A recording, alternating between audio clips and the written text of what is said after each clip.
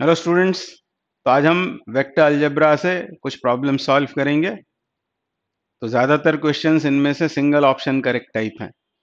Multiple answer होंगे तो मैं आपको बता दूँगा। वेक्टर अलजेब्रा ये एक बहुत इंपॉर्टेंट टॉपिक है।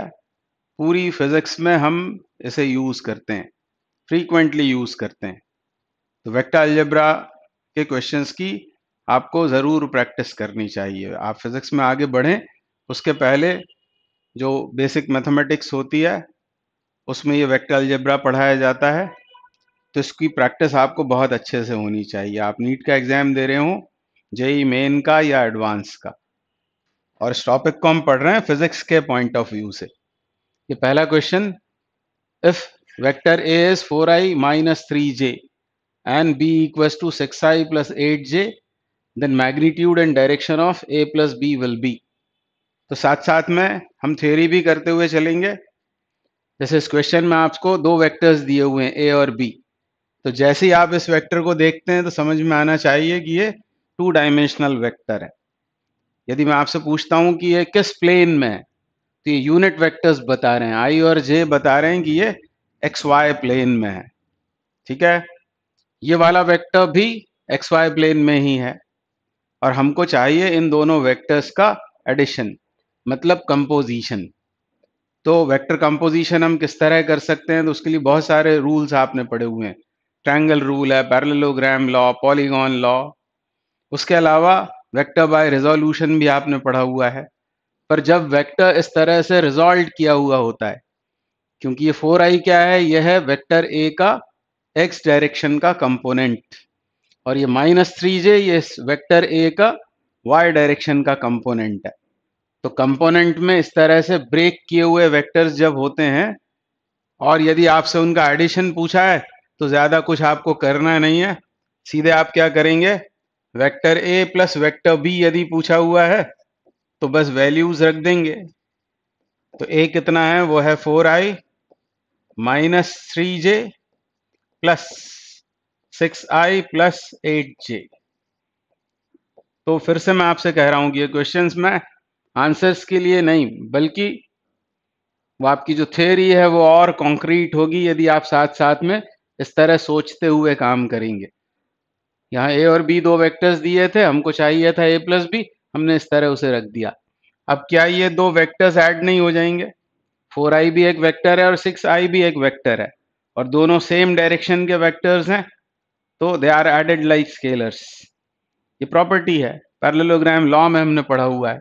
तो आई वालों को अलग से हमने लिख लिया, वो कितना हुआ? थ्री टेन आई और फिर ये माइनस थ्री प्लस एट ये दोनों वाई डायरेक्शन के हैं, ये पॉजिटिव वाई में है, ये नेगेटिव वाई में है तो ये कैसे वेक्टर्स हो जाएँगे? एंटी पैरल तो मैग्नीट्यूड कितना होगा? वो जो रिजल्टेंट आएगा उसका एट माइनस थ्री यानी five j plus five j तो इसलिए आई आई वालों को अलग कर लिया हमने जे जे वालों को अलग कर लिया। और ये जो कुछ आया, ये है वेक्टर ए प्लस बी। अब ये एक वेक्टर था, ये एक वेक्टर था, जब इनका कंपोजिशन किया एडिशन किया तो जो हमें मिला वो भी एक वेक्टर है। और उस वेक्टर का ही हमको मैग्नीट्यूड पूछा हुआ है और डायरेक्शन पूछी हुई है। तो ये है वेक्टर ए प्लस बी। इसका मैग्नीट्यूड चाहिए तो क्या करेंगे, मैं आपको याद दिलाता हूँ। क्या करना होता है? हमको आई और जे के कोएफिशिएंट्स के स्क्वायर्स करने होते हैं।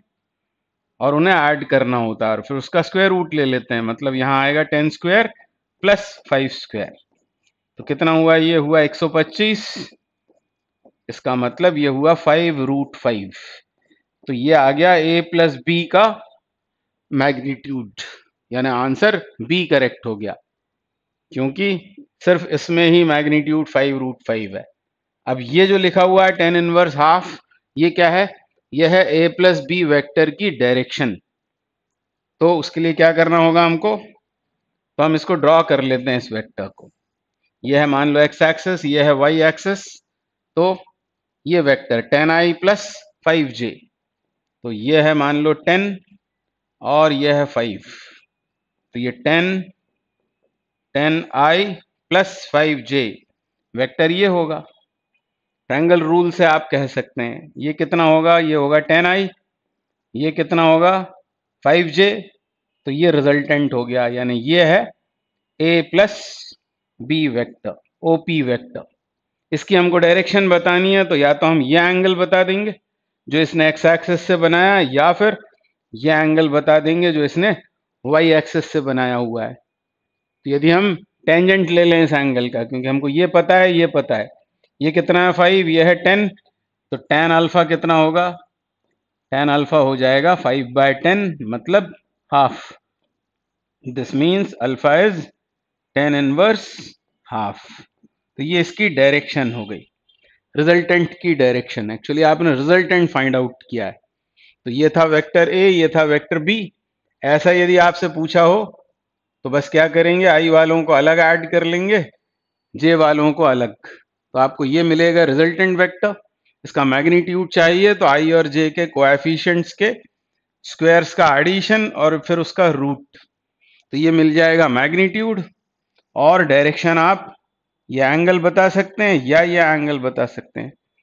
ये एंगल जब हमें निकालना था तो हमने उसका टेंजेंट ले लिया क्योंकि हमको ये मतलब परपेंडिकुलर और बेस पता था। तो tan alpha is half and so alpha is tan inverse half and so option B is correct अगला क्वेश्चन क्या बोल रहे हैं? वेक्टर ए दिया हुआ है, ये किस प्लेन में है? एक्स वाई प्लेन में। ये दूसरा वेक्टर दिया हुआ है वेक्टर बी ये भी एक वेक्टर दिया हुआ है, ये है कहाँ पर? तो ये है वाई जेड प्लेन में और ये ये है एक्स जेड प्लेन में। हमको इसकी वैल्यू बतानी है। तो ऐसा भी क्वेश्चन आने पर बस आपको करना क्या है? वेक्टर ए और फिर two times vector B vector multiplied by scalar gives vector तो यह है बी वेक्टर का ट्वाइस और फिर ये थ्री सी वेक्टर तो बस वैल्यूज़ ही सब्सटीट्यूट करनी है। I A is two i plus j फिर माइनस टू टाइम्स बी यानी कितना हो जाएगा?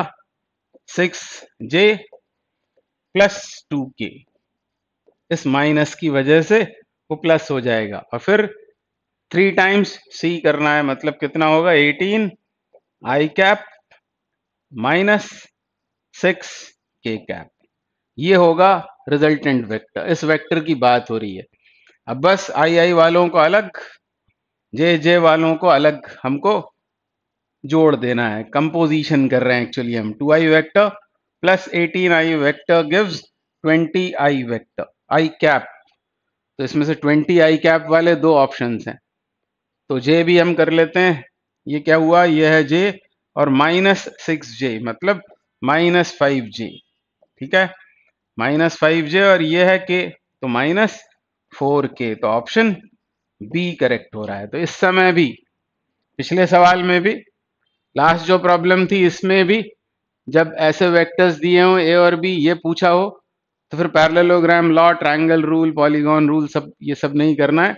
हमको सीधे इन वेक्टर्स को यहाँ सब्सटीट्यूट करके आई आई वालों को अलग जे जे वालों को अलग के के वालों को अलग इस तरह सॉल्व कर लेना है फिर। मैग्नीट्यूड क्या होगा? तो जैसे इसका मैग्नीट्यूड आपसे पूछ लें। ये एक वेक्टर मिला है हमको। इसका नाम हम रख देते हैं एक्स वेक्टर तो ये जो वेक्टर मिला है, इसका यदि आपसे मैग्नीट्यूड पूछ लेंगे तो क्या होगा? मैग्नीट्यूड आई जे और के के कोएफिशिएंट्स की स्क्वेयरिंग करेंगे। उनको ऐड करके उसका स्क्वायर रूट ले लेंगे। तो मैग्नीट्यूड मिलेगा और ये थ्री डायमेंशनल वेक्टर मिला है आपको। तो इसकी डायरेक्शन के लिए हम देते हैं डायरेक्शन कोसाइंस आपने सुना होगा cos alpha cos beta cos gamma जिनके स्क्वेयर्स का एडिशन वन होता है। तो फिर डायरेक्शन कोसाइंस हमको बताने होते हैं। वो आगे अभी नेक्स्ट प्रॉब्लम्स में कहीं ना कहीं आएगा। अब नेक्स्ट क्वेश्चन करते हैं। क्या बोल रहे हैं following sets of three forces act on a body whose resultant can not be zero sets दिए हुए हैं हमको तीन तीन फोर्सेस के। हमको बताना है इनमें से किन फोर्सेस का, किन थ्री फोर्सेस का रिजल्टेंट ज़ीरो नहीं हो सकता। तो किस तरह सॉल्व करेंगे? प्रॉपर्टी पर बेस्ड है। मान लो दो वेक्टर्स हैं पी और क्यू तो इन वेक्टर्स से मिलने वाला जो रिजल्टेंट होगा, वो मैक्सिमम कब होगा? तो जब थीटा ज़ीरो होगा मतलब जब वेक्टर्स पैरेलल होते हैं तब रिजल्टेंट होता है मैक्सिमम मैग्नीट्यूड में, और वो कितना होता है पी प्लस क्यू ये आप जानते हैं। और जब इनके बीच एंगल 180 डिग्री होगा, तब रिजल्टेंट होगा मिनिमम और वो होगा positive difference of P and Q ये एक प्रॉपर्टी है मतलब पी और क्यू से मिलने वाले रिजल्टेंट जो होंगे, उनकी रेंज कितनी होगी तो उसकी रेंज हो सकती है P माइनस क्यू या positive difference of P and Q से लेकर P प्लस क्यू तक। फॉर एग्ज़ाम्पल जैसे ये सेट लें हम, मान लो दो फोर्सेस हैं दस न्यूटन के। तो इनसे मिलने वाला जो मैक्सिमम रिजल्टेंट होगा, वो कितना होगा? वो होगा ट्वेंटी कब होगा? जब वो वेक्टर्स होंगे पैरेलल और इन्हीं दोनों से मिनिमम कितना मिलेगा? ज़ीरो जब वो होंगे एंटी पैरेलल तो 10 और 10 न्यूटन से हमको जो रेंज मिलेगी रिजल्टेंट्स की, वो कुछ भी होगी from zero to 20 depending upon the angle between the vectors जब वो पैरेलल होंगे एंगल ज़ीरो होगा maximum resultant these two are added और जब एंटी पैरेलल होंगे तो इक्वल ऑपोजिट होकर वो कैंसिल हो गए ज़ीरो मिला. इसका मतलब ज़ीरो पर वो मैक्सिमम और जैसे जैसे एंगल बढ़ेगा रिजल्टेंट कम होता जाएगा और 180 होने पर एंगल के वो ज़ीरो हो जाएगा। तो दो वेक्टर्स का एडिशन न केवल उनके मैग्नीट्यूड्स पर, बल्कि उनके बीच के एंगल पर भी डिपेंड करता है। तो ये रेंज मिली। अब इनमें से, इस सेट की मैं बात कर रहा हूँ, इनमें से ये दो हमने ले लिए। इनको तो ऐड किया। और ये तीनों मिलकर कब कैंसिल होंगे मतलब रिजल्टेंट कब ज़ीरो आएगा? जब किन्हीं भी दो का रिजल्टेंट जैसे ये दो वेक्टर्स हैं, इनका रिजल्टेंट तीसरे से कैसा हो जाए? इक्वल एंड ऑपोजिट यह है मान लो, p वेक्टर यह है q वेक्टर ये दो वेक्टर्स और मान लो इसका रिजल्टेंट ये है. और यदि p और q का रिजल्टेंट इस s से कैसा हो गया इक्वल ऑपोजिट ये तीनों कैंसिल आउट हो जाएँगे. तो यहाँ पर क्या हुआ है? दो दस के हमने लिए हुए. रेंज ये मिली ज़ीरो से बीस. क्या ये दस आ रहा है इसमें रेंज में? यस आ रहा है। इसका मतलब कभी ना कभी ऐसा होगा जब दो दस न्यूटन के वेक्टर्स का रिजल्टेंट इसके बराबर हो जाएगा। आप जानते हो ऐसा कब होगा? 120 डिग्री का जब एंगल होगा। ये दो दस न्यूटन के जब 120 डिग्री पर इंक्लाइंड होंगे रिजल्टेंट 10 होगा। At an angle of 60 from either of them और वो इसे कैंसिल कर देगा मतलब ये वाला जो ट्रैक दिया हुआ है, तिकड़ी है, ये तो पॉसिबल है। ऐसी ही पॉसिबिलिटी इसमें ढूंढेंगे। इस वाले बी में रेंज कितनी होगी, यदि ये दो मैं लेता हूँ तो मिनिमम ज़ीरो और मैक्सिमम कितना होगा? ट्वेंटी ये ट्वेंटी कभी ना कभी कैंसिल हो जाएगा। मतलब दिस इज़ ऑल्सो पॉसिबल पर हमसे पूछा हुआ है कैन नॉट बी ज़ीरो अब इसमें आते हैं दस और बीस। मिनिमम कितना होगा? दस। मैक्सिमम कितना होगा? वो होगा तीस। और 10 और 30 के बीच कहीं ना कहीं 23 आ जाएगा। तो सी इज़ ऑल्सो पॉसिबल तो इसका मतलब आंसर जो है वो डी है। मतलब ये तीनों मिलकर 10, 20 और 40 ये तीनों मिलकर कभी ज़ीरो नहीं हो सकते। ऐसा क्यों? जैसे हम ये दो ले लें तो रेंज क्या आ जाएगी? 10 से 30 तो ये 40 आउट ऑफ़ रेंज हो जाएगा। यदि मान लो आप ये दोनों ले लें 20 और 40 तो मिनिमम कितना होगा? 20 और मैक्सिमम कितना होगा? सिक्सटी तो ये टेन बाहर हो जाएगा। जब आपने टेन ट्वेंटी लिया रेंज ये थी तो फोर्टी बाहर हो गया। जब आपने ट्वेंटी फोर्टी लिया तो ट्वेंटी सिक्सटी हो गई रेंज टेन बाहर हो गया। ठीक है? इसी तरह से आप कौन क्या ले सकते हैं? टेन और फोर्टी दस और चालीस लेंगे तो मिनिमम कितना होगा? तीस और मैक्सिमम कितना होगा? पचास। तो ये बीस उससे बाहर हो जाएगा। मतलब कोई भी दो लेने पर तीसरा वाला बाहर हो रहा है। इसका मतलब यही पॉसिबल आंसर है। इस तरह से हमको चेक लगाना पड़ेगा। तो इसमें भी ये प्रॉपर्टी यूज़ हो रही है। तो अगला क्वेश्चन देखते हैं। क्या बोल रहे हैं? Five equal forces of ten newton each are applied at one point and all are lying in one plane if the angles between them are equal the resultant force will be इसका answer ही शायद आपको याद होगा। इसका answer है zero क्यों zero? क्योंकि ये पाँच जो फोर्सेस हैं, ये मिलकर बनाते हैं क्लोज्ड पॉलीगॉन क्लोज्ड पॉलीगॉन इस तरह से क्लोज्ड पॉलीगॉन ये फॉर्म करने वाले हैं।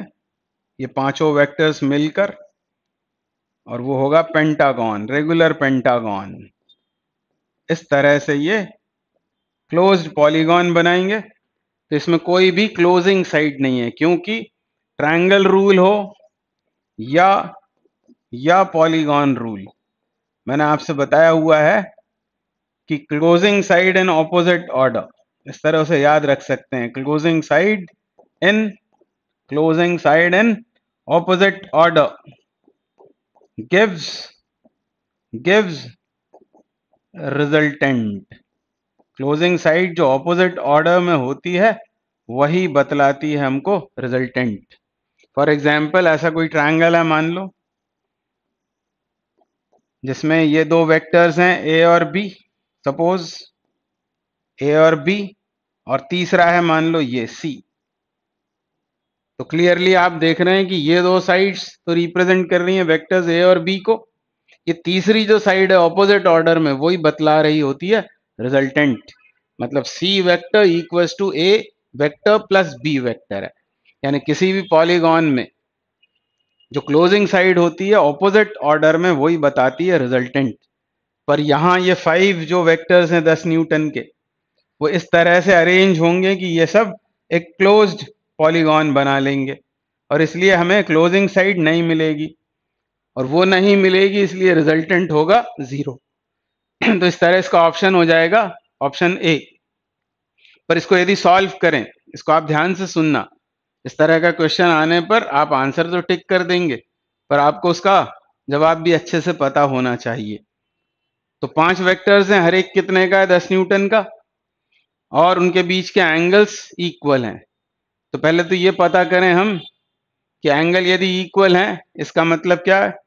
कि रेगुलर पॉलीगॉन बनेगा, जब आप इनको इस तरह से अरेंज करेंगे। तो किसी भी रेगुलर पॉलीगॉन में कोई रेगुलर पॉलीगॉन है? एन साइडेड तब sum of sum of interior angles कितना होता है? पहले तो यही अपने दिमाग में आना चाहिए। सम ऑफ़ इंटीरियर एंगल्स ये फॉर्मूला आपको आगे भी कहीं काम आ सकता है। सम ऑफ़ इंटीरियर एंगल्स तो कैसे याद लाएँगे कि पाँच साइडेड फिगर है मान लो। क्या है ये पॉलीगॉन कौन सा पॉलीगॉन पेंटागॉन तो ऐसे सोचना है कि इसमें कितने ट्रायंगल्स फॉर्म होंगे। तो अपने आप आपको समझ में आ जाएगा कि तीन तीन तीन ट्रायंगल्स बनेंगे। और एंगल सम प्रॉपर्टी से किसी ट्रायंगल के तीनों एंगल्स का सम कितना होता है? 180 तो 180 एट्टी इंटू थ्री यानी 540 होगा। इंटीरियर एंगल्स मतलब इन एंगल्स का सम इन एंगल्स का सम कितना हो जाएगा तो वो हो जाएगा 180 एट्टी इंटू थ्री यानी 540 तो इसको जनरलाइज करें तो अपन यूँ सोचें कि पेंटागन था, तब तीन बन रहे थे ट्रायंगल्स यदि मान लो ऑक्टोगॉन होगा, आठ साइडेड फिगर होगा तो कितने ट्रायंगल्स फॉर्म होंगे? दो कम सिक्स यानी जितनी साइड्स होती हैं, उसमें से दो सब्ट्रैक्ट करो और 180 का उसमें मल्टीप्लाई कर दो तो हमको मिल जाएगा सम ऑफ़ इंटीरियर एंगल्स ये फॉर्मूला बन गया। तो मेशर ऑफ़ वन एंगल कितना होगा? एक एंगल कितने का होगा? मेशर ऑफ़ वन एंगल पर कौन सा? One interior angle one interior angle वो कैसे निकालोगे? तो बस इसे एन से क्या कर देना है? डिवाइड कर देना है। एन से इसको डिवाइड कर देंगे, क्योंकि ये टोटल है। जितनी साइड्स होती हैं, उतने ही एंगल्स बनते हैं और सभी एंगल्स इक्वल वैल्यू के होते हैं। तो ये यदि सम ऑफ़ इंटीरियर एंगल्स है तो इसको डिवाइड कर देंगे एन से तो हमको मिलेगा measure of one interior angle यानी N minus two times one eighty upon N तो ये एक एंगल का सम हो गया। तो एक एक्सटीरियर एंगल कितना होगा? एक्सटीरियर का पहले मतलब समझ लेते हैं। जैसे ये इंटीरियर एंगल है, जो इन दो साइड्स के बीच से इंक्लूडेड है। इसको यदि आगे बढ़ा दें, इस वाली साइड को आगे बढ़ा दें तो इधर जो एंगल बनेगा, यहाँ हम लगाएँगे क्या? यहाँ आपको मालूम है, ये 180 डिग्री होगा पूरा, एक ही लाइन पर बनने वाला एंगल उसमें से ये इंटीरियर है, ये एक्सटीरियर है। है ना? एंगल सम प्रॉपर्टी लगा दी यहाँ पर। तो ये एक्सटीरियर एंगल है जो रेड से दिखाया हुआ है। तो एक्सटीरियर एंगल कितना होगा? तो मेशर ऑफ़ ये सब बात हो रही है किसी रेगुलर पॉलीगॉन में। ये रेगुलर पॉलीगॉन के इंटीरियर एंगल्स का सम ये एक इंटीरियर एंगल और अब मैं बता रहा हूँ आपको measure of one one major of one exterior angle exterior angle के लिए क्या करोगे? तो साफ़ तौर पर आपको 180 में से सब्ट्रैक्ट करना पड़ेगा इसे। ये जो आया हुआ है, इसको 180 में से सब्ट्रैक्ट करना है। तो 180 ले लो common 180 common 180 minus this much करना था। तो क्या करें अब? 180 में से इसको सब्ट्रैक्ट करना है। तो 180 मैंने कॉमन कर लिया है। तो क्या बचेगा? One minus one minus one ऐसा होगा ना? One minus one exterior angle निकल रहा है। वन एट्टी में से सब्ट्रैक्ट कर रहे हैं। वन एट्टी कॉमन तो अंदर बचेगा वन, फिर इसको मैंने डिवाइड कर दिया है। प्लस टू बाय एन ऐसा हो जाएगा ना? टू बाय एन ये वन वन कैंसिल होकर तो कितना हो गया ये? थ्री सिक्सटी बाय एन और बाय द वे एक और प्रॉपर्टी आप सुन लो, वो ये कि सम ऑफ़ एक्सटीरियर एंगल्स कितना होगा? तो इंटू एन करेंगे 360 मतलब किसी भी रेगुलर पॉलीगॉन में सम ऑफ़ एक्सटीरियर एंगल्स होता है 360 और एक एक्सटीरियर एंगल होता है 360 सिक्सटी अपॉन एन ये प्रॉपर्टी आपको पहले से भी पता होगी ही। अब अपने सवाल पर आते हैं तो फिर हमारी इस प्रॉब्लम में, जैसे आप इसको पढ़ेंगे इक्वल फोर्सेस इक्वल फोर्सेस हैं और angles between them are equal equal angles पर वो इंक्लाइंड है। मतलब angle between the vectors equal हैं। तो ऑब्वियसली एक रेगुलर पॉलीगॉन बनेगा। कैसा होगा वो फाइव साइडेड फिगर मतलब क्या होगा वो pentagon regular pentagon exterior angles का सम कितना होता है? अभी हमने समझा 360 और नंबर ऑफ़ साइड्स कितनी है? फाइव यानी एक एंगल कितना होगा? ये क्या है? एक्सटीरियर एंगल का सम और यही होगा एंगल बिटवीन द वेक्टर्स ये आएगा 72 डिग्री इसका मतलब वो 10 न्यूटन के फोर्सेस किस तरह से अरेंज्ड हैं? मैं आपको यहाँ ड्रॉ करके दिखाता हूँ, ये पहला फोर्स 10 न्यूटन का, और ये अगला। पॉलीगॉन बनेगा, तब इंटीरियर एंगल तो 108 डिग्री होगा।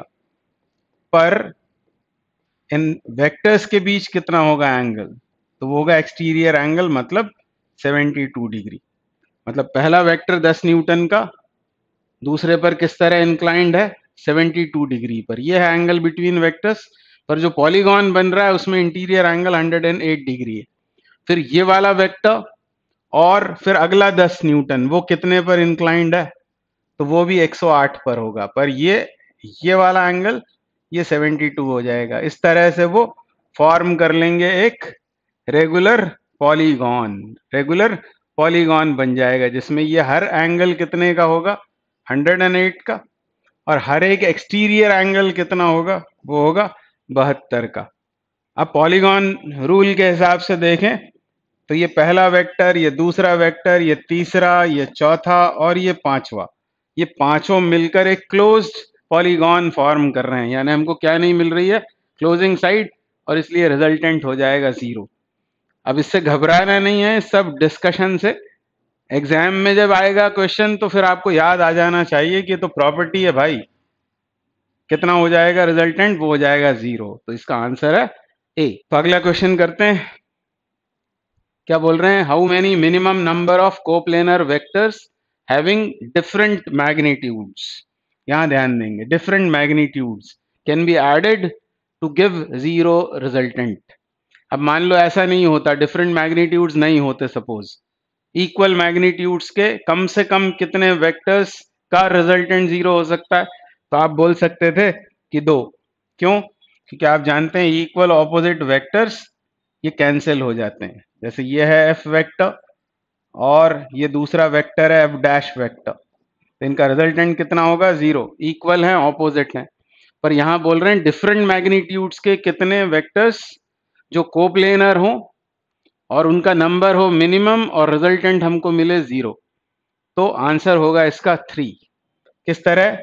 कि यदि दो का रिजल्टेंट तीसरे के इक्वल और ऑपोजिट हो जाता है, इस तरह का होगा वेक्टर डायग्राम यदि इन दो वेक्टर्स का, यह है मान लो P, यह है Q, और P और Q का रिजल्टेंट ये नहीं है, या तीसरा वेक्टर है आर पी और क्यू का रिजल्टेंट मतलब ये, यानी P vector plus Q vector यदि ये वेक्टर और ये वेक्टर कैसा हो जाए?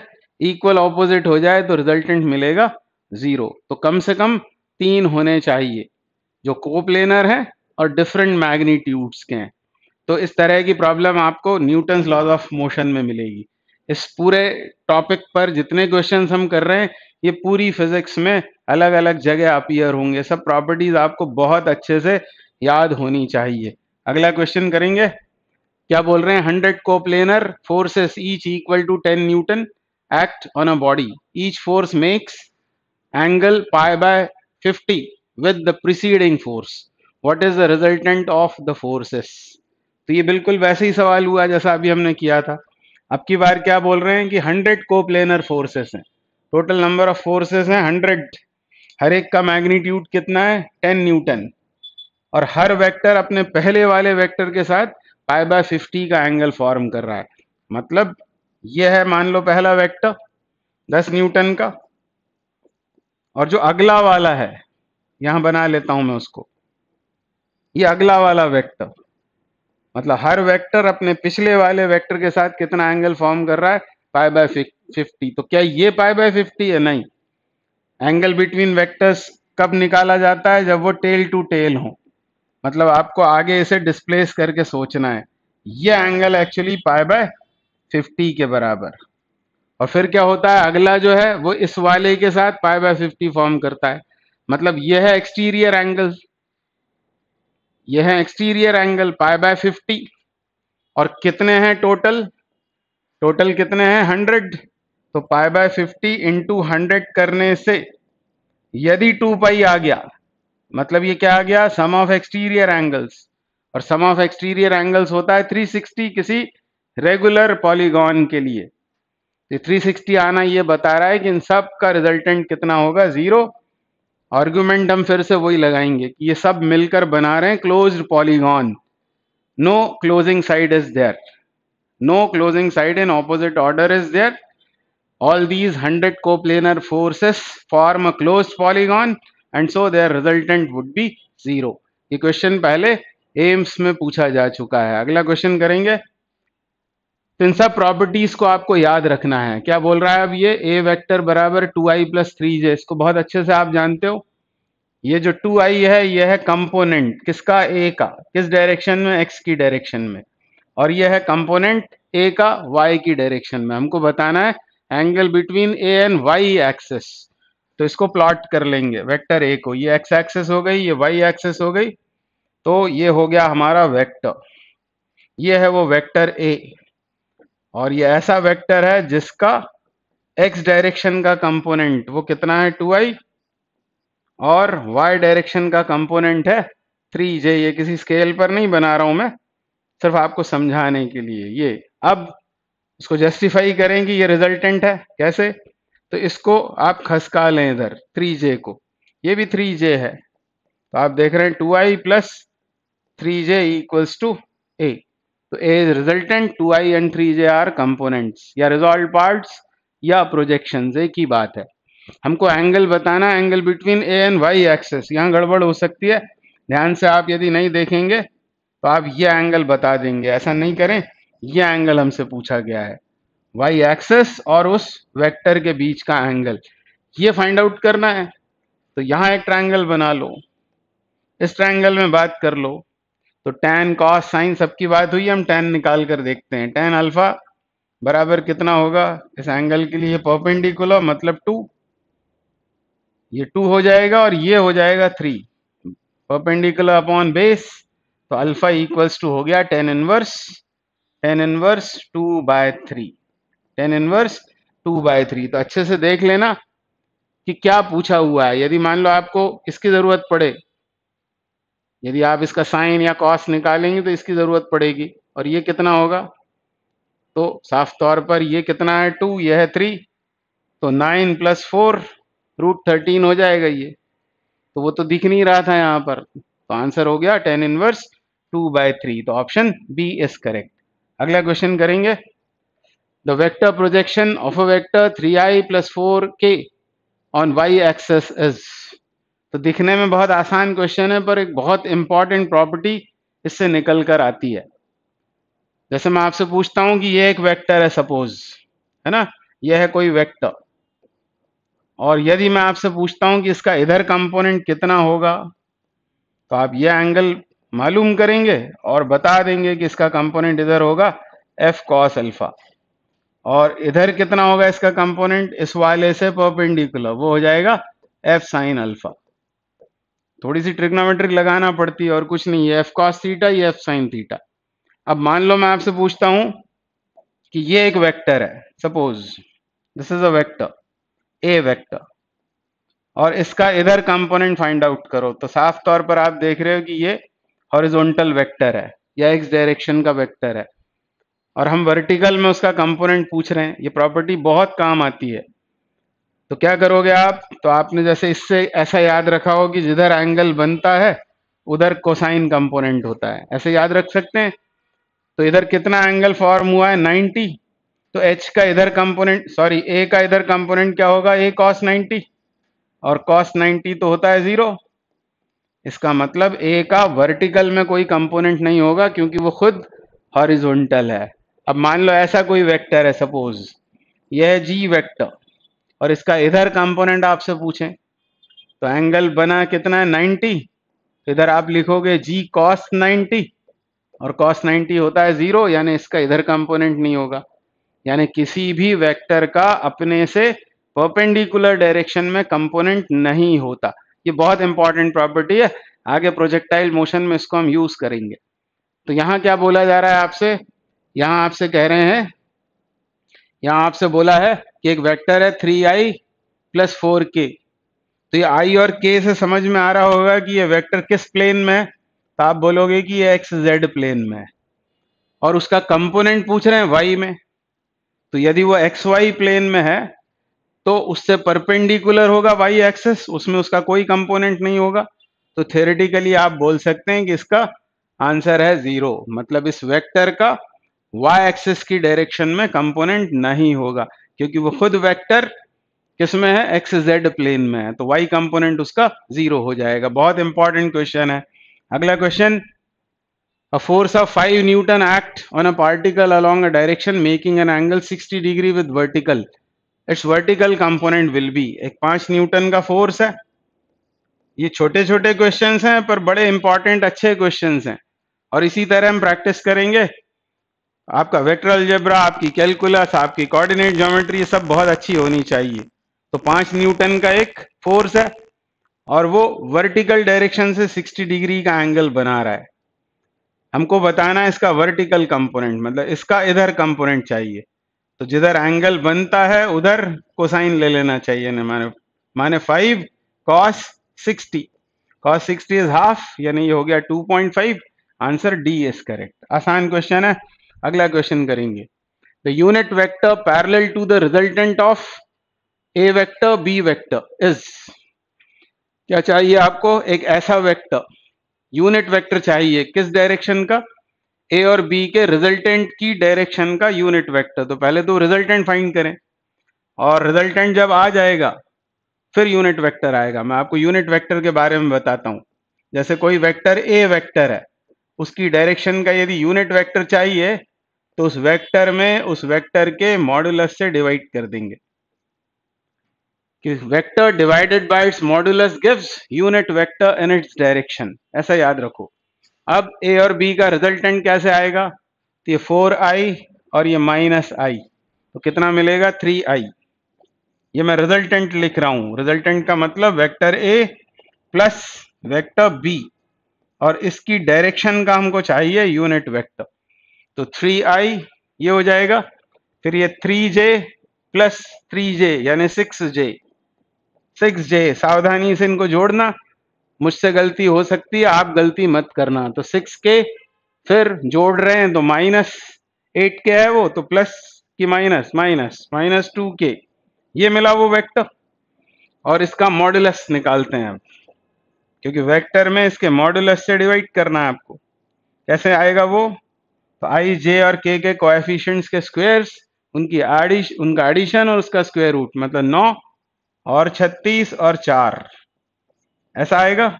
36 और 4 40 ये हुए उनचास मतलब 49 उसका स्क्वायर रूट सेवन बस ये आ गया आपके पास में मॉड्यूलस और इसे सेवन से डिवाइड कर देना है। तो three I plus six J minus two K upon seven यानी ऑप्शन ए करेक्ट हो गया। तो ये यूनिट वेक्टर की डेफिनेशन याद रखना चाहिए। Vector divided by its modulus gives unit vector in its direction अगला सवाल करेंगे। The vector that must be added to the vector ये एंड ये so that the resultant vector is a unit vector along Y axis आपको मालूम होगा X Y और Z direction के जो यूनिट वेक्टर्स होते हैं, वो होते हैं आई जे और के एक्स डायरेक्शन का unit vector I cap Y direction का जे कैप और जेड डायरेक्शन का के कैप तो वाई डायरेक्शन में यूनिट वेक्टर क्या होगा? वो होगा जे तो हमसे पूछ रहा है कि इस वेक्टर में और इस वेक्टर में कौन सा वेक्टर ऐड कर दें कि जो रिज़ल्ट आए वो क्या हो? Unit vector along Y axis तो पहले तो इन्हें जोड़ लें आई और थ्री आई मिलकर ये हुआ फोर आई फिर minus three J plus six J मतलब थ्री जे फिर टू के माइनस सेवन के मतलब माइनस फाइव के और इसमें मान लो हमने ऐड किया है। मान लो हमने ऐड किया है ये vector X I plus Y J plus Z K इसे ऐड किया तो हमको मिला क्या? तो हमको मिला वाई डायरेक्शन का यूनिट वेक्टर वाई डायरेक्शन का यूनिट वेक्टर मतलब जे कैप हमको बताना है कि वो वेक्टर कौन है? मतलब X Y Z find out करना है आपको। तो अब इसमें इसे और इसे अलग जोड़ें, क्योंकि ये दोनों आई वाले हैं, यानी फोर प्लस एक्स, और फिर कंपेयर करें तो उस तरफ़ तो आई है ही नहीं तो उसका कोएफिशिएंट ज़ीरो, इसका मतलब एक्स जो है वो आया माइनस चार माइनस चार तो माइनस चार वाला एक ही आंसर है, यही करेक्ट होगा। देखते हैं तो ये हुआ, अब ये जे तो three plus Y equals to, उधर वाई का कोएफिशिएंट वन है इसका मतलब y कितना हुआ? y हुआ माइनस टू तो माइनस टू जे, ये भी करेक्ट है। अब z की बात करोगे तो माइनस फाइव के का कोफिशियंट और उधर है कितना? z equals to zero this means z is five यानी हमारे कोएफिशिएंट ज़ीरो सही आए, और फिर आप यहाँ सब्सटीट्यूशन करोगे इसमें तो ये आंसर मिल जाएगा। तो सवाल को ठीक से पढ़ना चाहिए। आगे बढ़े। क्या बोल रहा है? If for two vectors A and B sum A plus B is perpendicular to difference A minus B the ratio of their magnitudes is दो वेक्टर्स हैं ए और बी और क्या बोला है?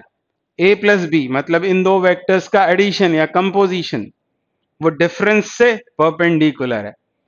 तो आगे तक याद रखो कि जब कभी परपेंडिकुलर वाली बात हो ना तो डॉट प्रोडक्ट के बारे में सोचना चाहिए हमको। जब भी कभी परपेंडिकुलर की बात होगी, क्योंकि आप जानते हैं, दो वेक्टर्स यदि परपेंडिकुलर हैं तो उनका डॉट प्रोडक्ट ज़ीरो होता है, और डॉट प्रोडक्ट ज़ीरो हो तो वेक्टर्स परपेंडिकुलर होते हैं।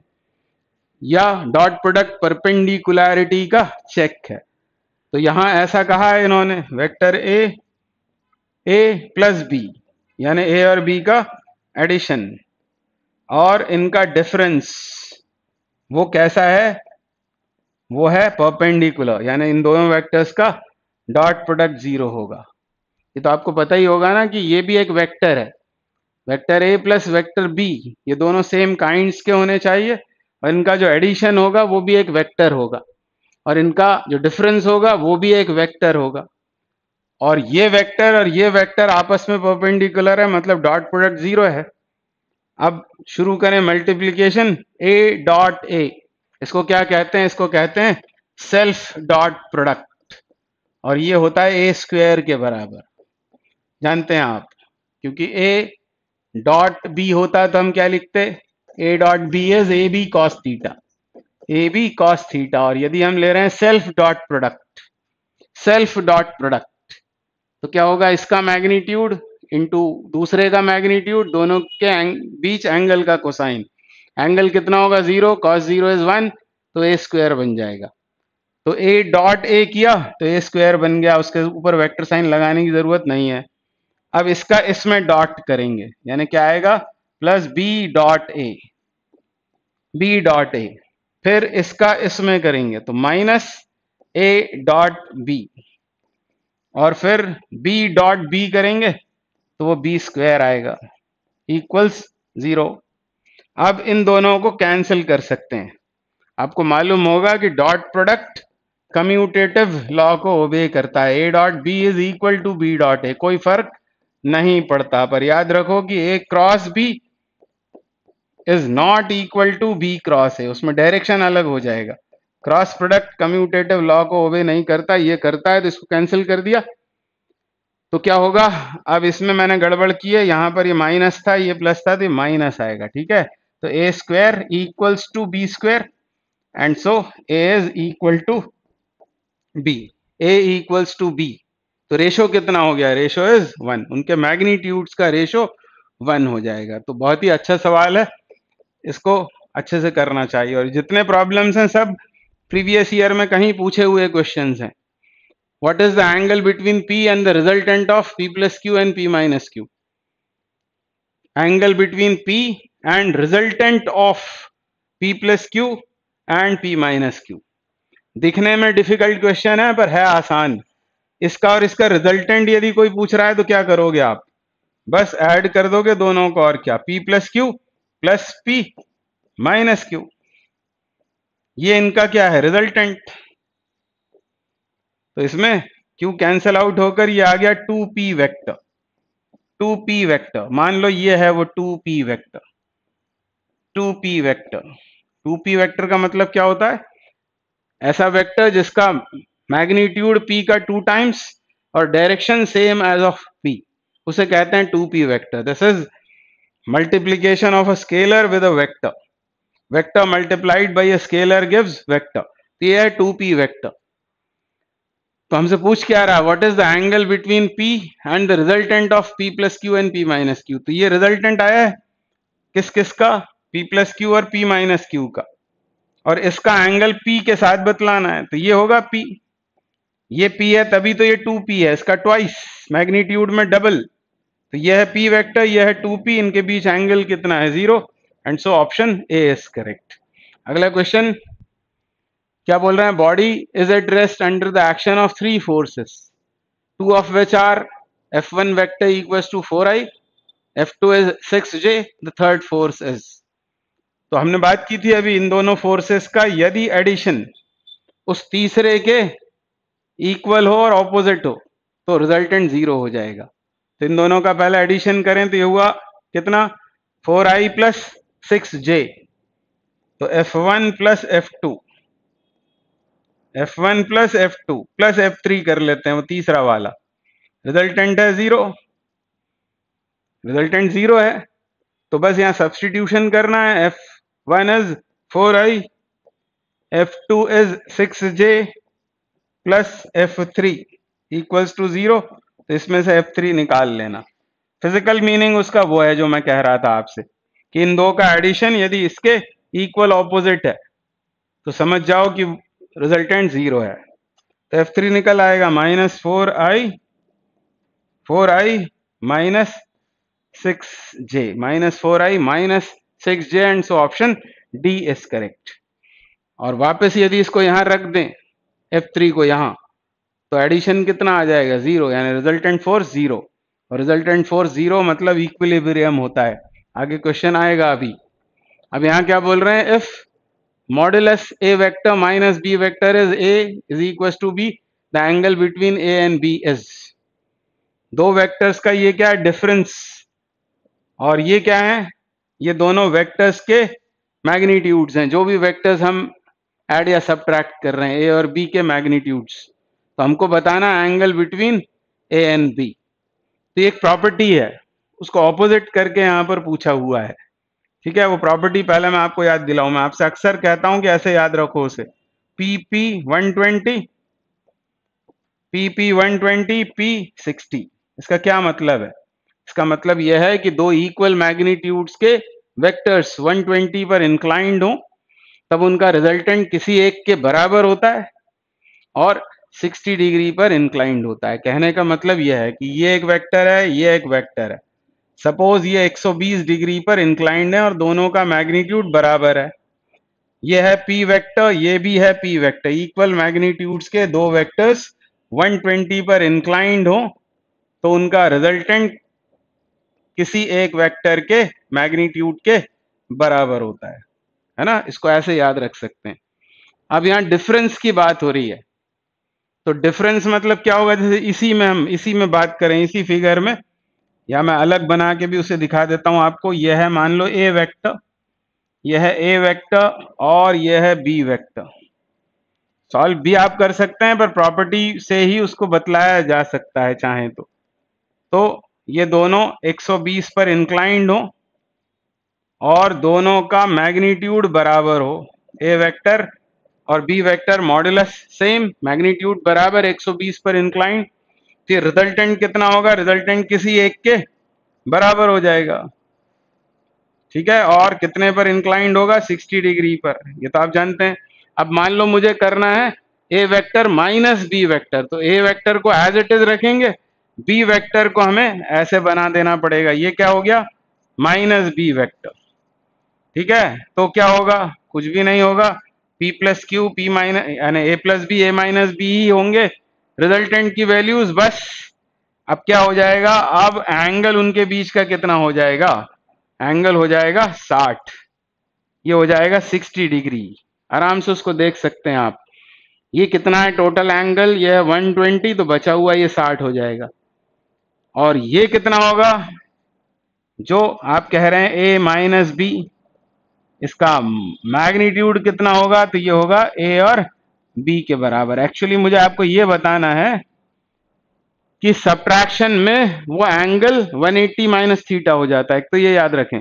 दूसरा maximum p plus q p minus q था एडिशन में। सब्ट्रैक्शन में भी वो p plus q p minus q ही रहता है। इसके ऊपर आप थोड़ा विचार करना।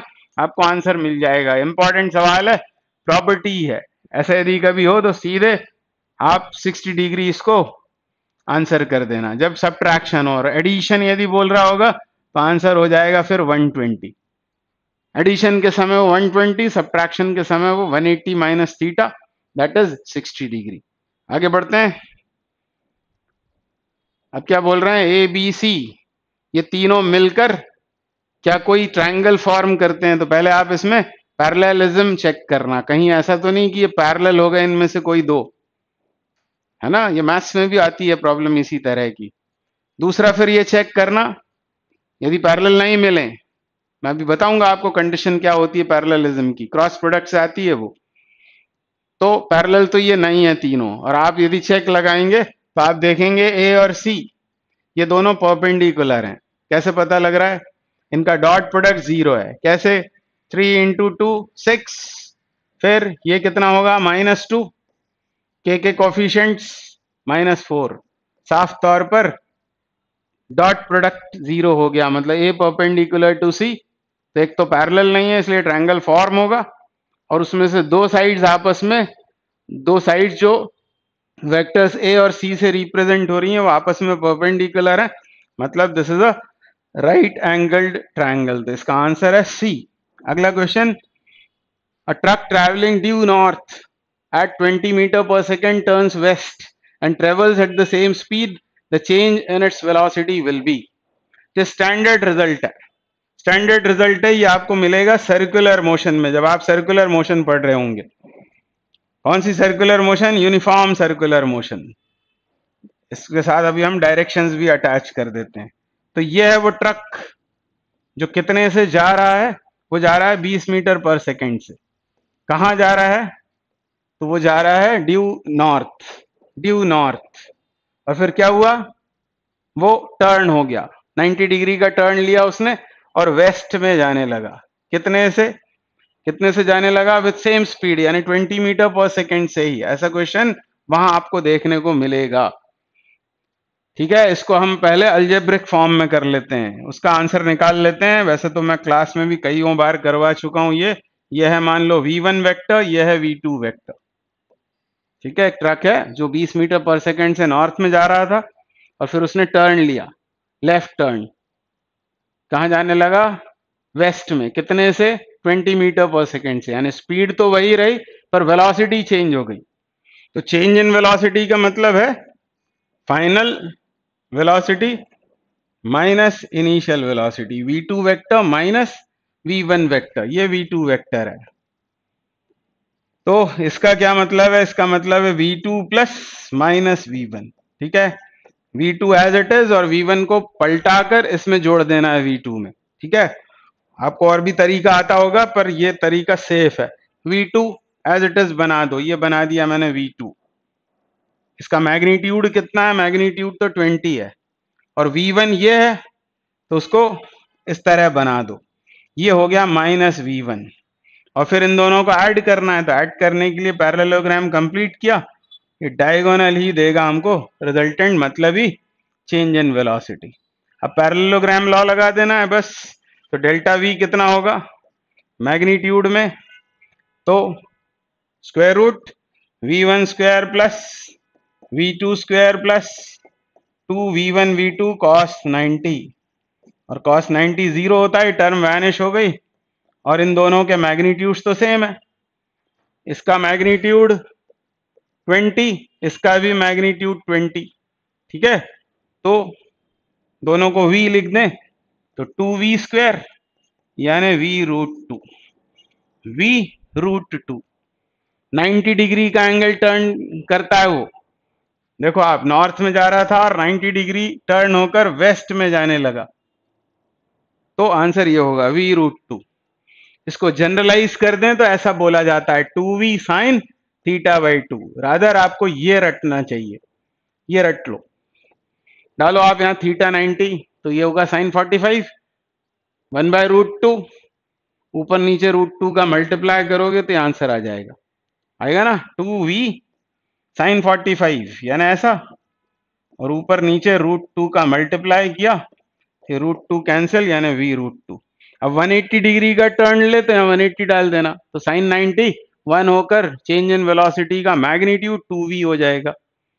तो इसको रट लो two v sine theta by two जब क्या हो रही हो? यूनिफॉर्म सर्कुलर मोशन मैं आपको यूनिफॉर्म सर्कुलर मोशन नहीं पढ़ा रहा हूँ, मैं आपको बता रहा हूँ वेक्टर्स की इंपॉर्टेंस कि कितना अच्छे से हमको ये आना चाहिए चैप्टर आगे बहुत आराम हो जाएगा इससे। Vector subtraction vector addition dot product cross product resolution सबकी ज़रूरत पड़ती है फिजिक्स को समझने के लिए।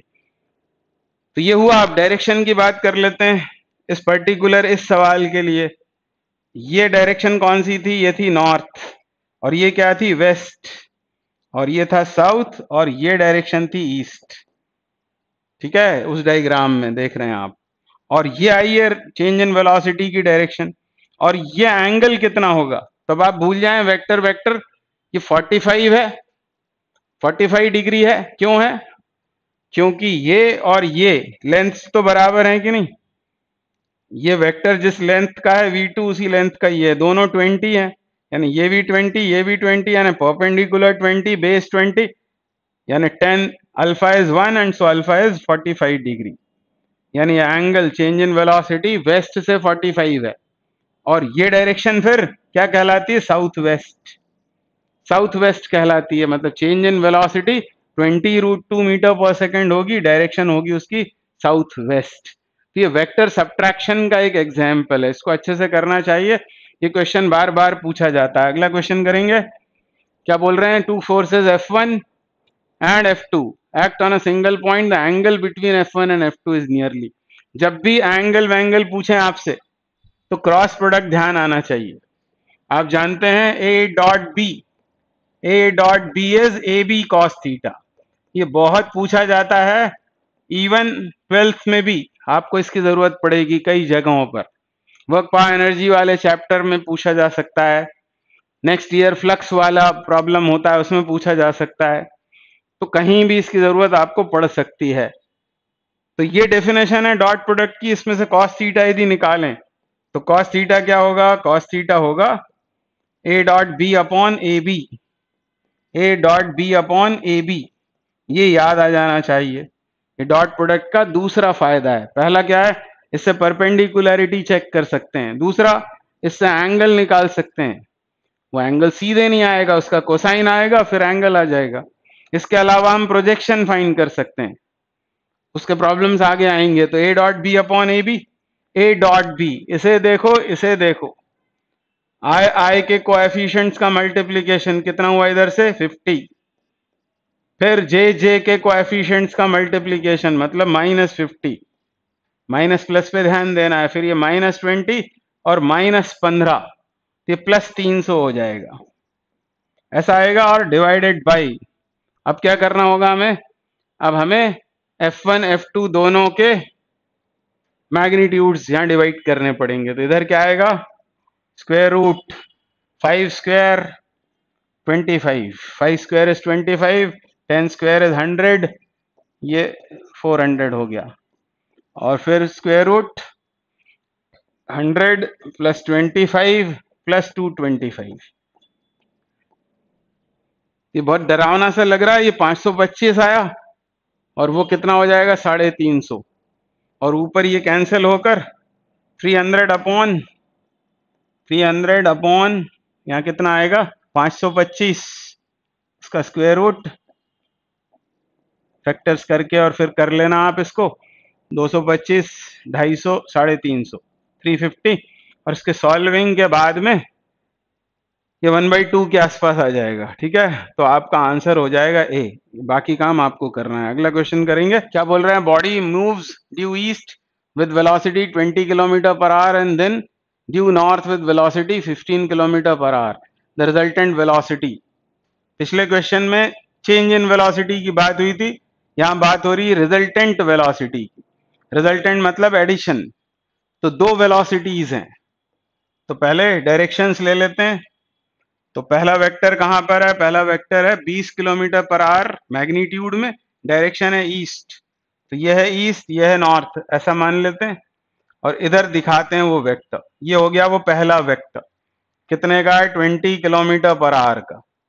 किधर है? ड्यू ईस्ट और उसके बाद then due north with velocity 15 kilometre per hour तो इधर यदि उसे ड्रॉ कर लिया जाए, ये पहला वेक्टर और ये दूसरा वेक्टर कितना है? 15 किलोमीटर पर आवर। एक्चुअली हमको ये, इसको यदि v1 बोल दें, इसको यदि v2 बोल दें तो हमको चाहिए ये, v vector equals to v one plus v और एडिशन करने के बहुत सारे तरीके हैं, उनमें से पहला है ट्रायंगल रूल जब दो वेक्टर्स ऐड करने हो, वही मैंने यहाँ किया है।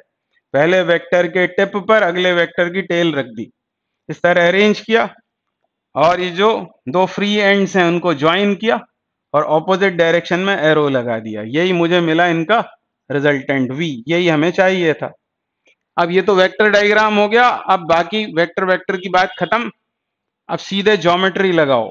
पाइथागोरस थ्योरम हमें चाहिए सिर्फ़ मैग्नीट्यूड यूनिट्स भी चेंज करने की ज़रूरत नहीं है, क्योंकि रिजल्टेंट वेलोसिटी भी किलोमीटर पर आर में ही पूछी हुई है। यानी वी वेक्टर का मैग्नीट्यूड कितना होगा? तो फ़िक्र ही मत करो, अब तो पाइथागोरस थ्योरम लगाओ twenty square plus fifteen square यानी ये होगा रूट 625 यानी वो आ गया 25 और अब लिख दो kilometre per hour. Kilometre per hour direction पूछा ही नहीं है उसने। तो 25 kilometre per hour is is the magnitude और डायरेक्शन पूछी होती तो आप ये एंगल निकालते। ये एंगल निकालते तो टेन अल्फ़ा निकाल लेते, इसका टेन अल्फ़ा कितना होता? फिफ्टीन बाय ट्वेंटी यानी थ्री बाय फोर तब आप लिखते alpha is ten inverse three by four कहाँ से? कहाँ से निकाला ये एंगल आपने? ईस्ट से। ईस्ट से ten inverse three by four पर ये होगी रिजल्टेंट वेलोसिटी तो ध्यान से देख लेना चाहिए रिजल्टेंट है या चेंज इन वेलोसिटी अब क्या बोल रहा है? A person goes ten kilometre north and twenty kilometre east a person goes ten kilometre north, ये दस किलोमीटर गया नॉर्थ में। जब भी कॉपी में काम करें तो इधर नॉर्थ होता है और दाएँ हाथ पर ईस्ट होता है। तो ये हुआ टेन किलोमीटर नॉर्थ और फिर ट्वेंटी किलोमीटर ईस्ट। तो ये था उसका स्टार्टिंग पॉइंट और ये था उसका एंड पॉइंट, जहाँ वो पहुँचा। बताना क्या है what is the displacement displacement मतलब क्या होता है? डिस्प्लेसमेंट मतलब हमेशा होता है join initial position with final position and mark arrow from initial to final ये डिस्प्लेसमेंट है मतलब ये लेंथ हमको बतानी है। ये एंगल 90 है, क्योंकि ये नॉर्थ था, ये ईस्ट था। तो पाइथागोरस थ्योरम से निकल आएगा आराम से। कितना होगा ये? Under root ten square plus plus twenty square मतलब कितना हुआ ये? 500 का रूट रूट 500 रूट 500 तो 100 का रूट तो टेन हो गया और रूट फाइव और अब आगे तक के लिए रूट फाइव को याद रखना 2.23 इसकी बड़ी ज़रूरत पड़ती है। सभी बच्चों से ये कहना है कि root five root seven root three root two याद होते हैं। फिर रूट सिक्स तो जुगाड़ से आ जाता है। रूट एट आ जाता है रूट नाइन आ जाता है। रूट फाइव रूट सेवन और रूट टेन इनकी वैल्यूज़ हो सके तो याद रखना चाहिए उससे। आसानी हो जाएगी। जैसे यहाँ पर आप देख रहे हैं, आंसर आ गया twenty two point three kilometre. तो यह हो सके तो याद रहे आपको। Root five is two point two three. तो बाकी एलिमिनेट हो रहे हैं आराम से, ये इसका आंसर है। तो यहाँ तो वैसे बहुत ज़रूरत नहीं पड़ी इसकी।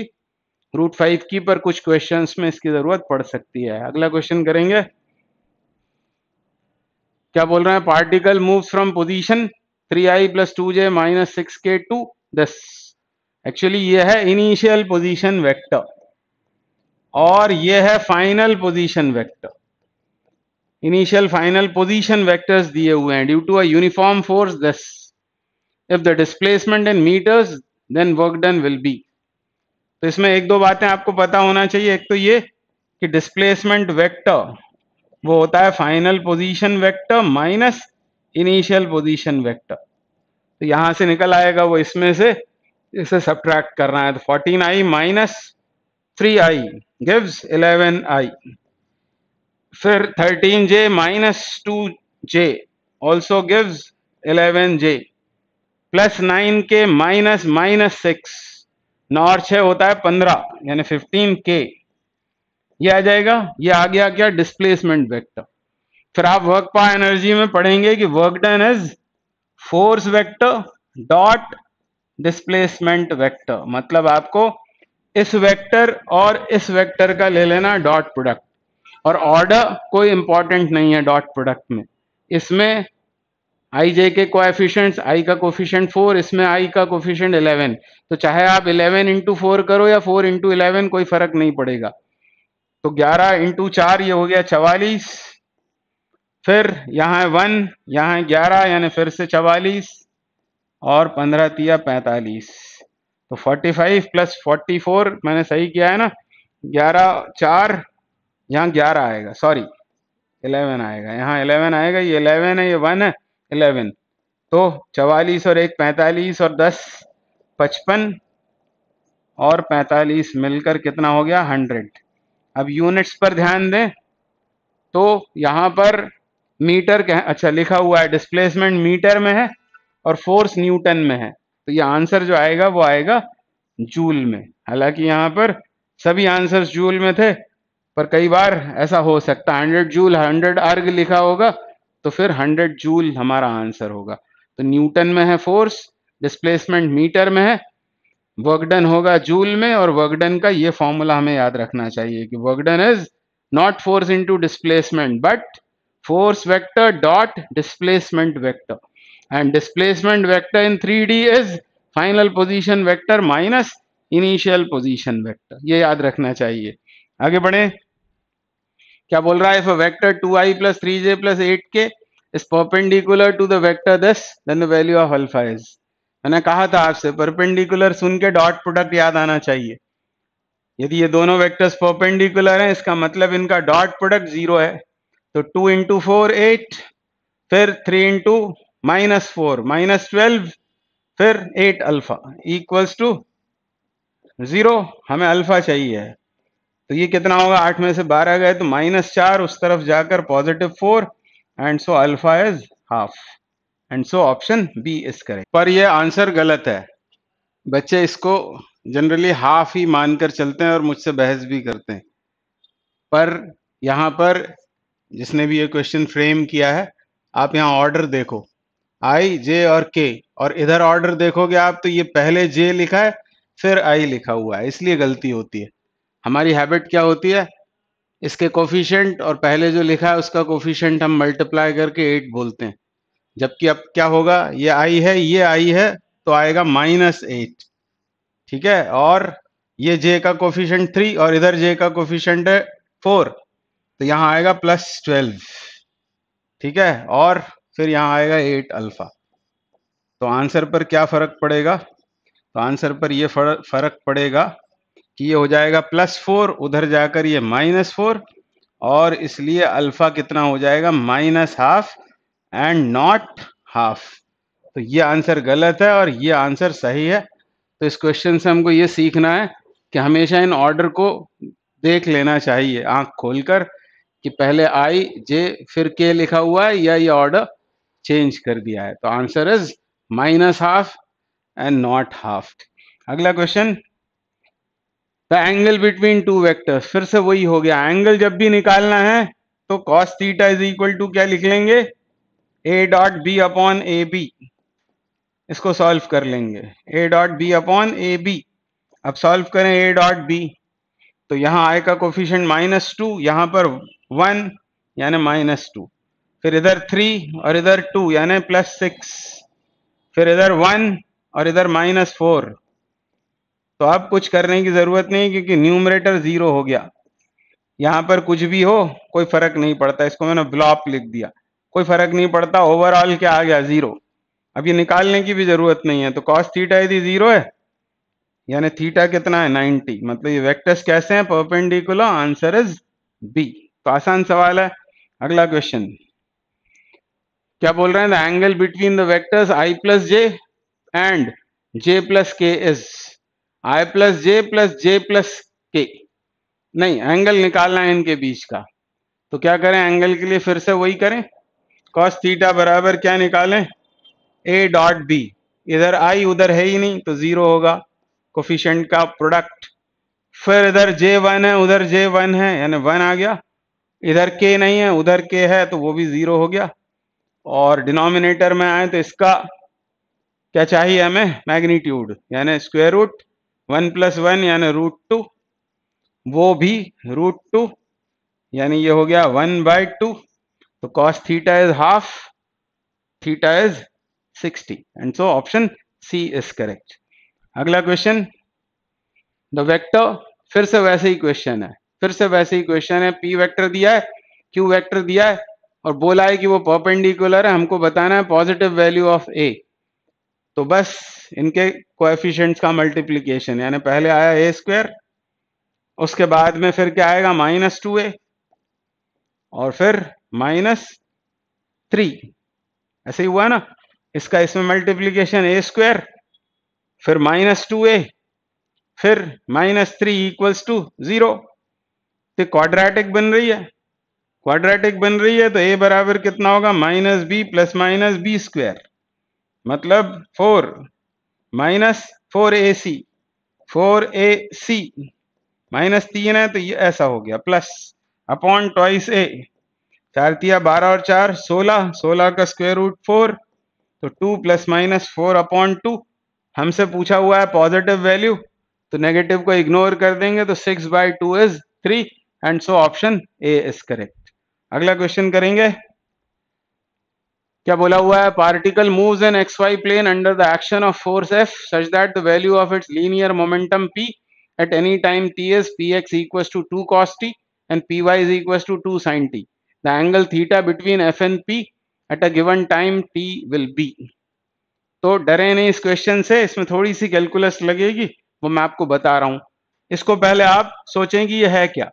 तो यह है लीनियर मोमेंटम जो एक वेक्टर है, और यह है लीनियर मोमेंटम अलोंग एक्स और यह है लीनियर मोमेंटम अलोंग वाई और आपने लोअर क्लासेस में भी पढ़ा होगा, और अभी आगे आप न्यूटन लॉज ऑफ़ मोशन में पढ़ेंगे।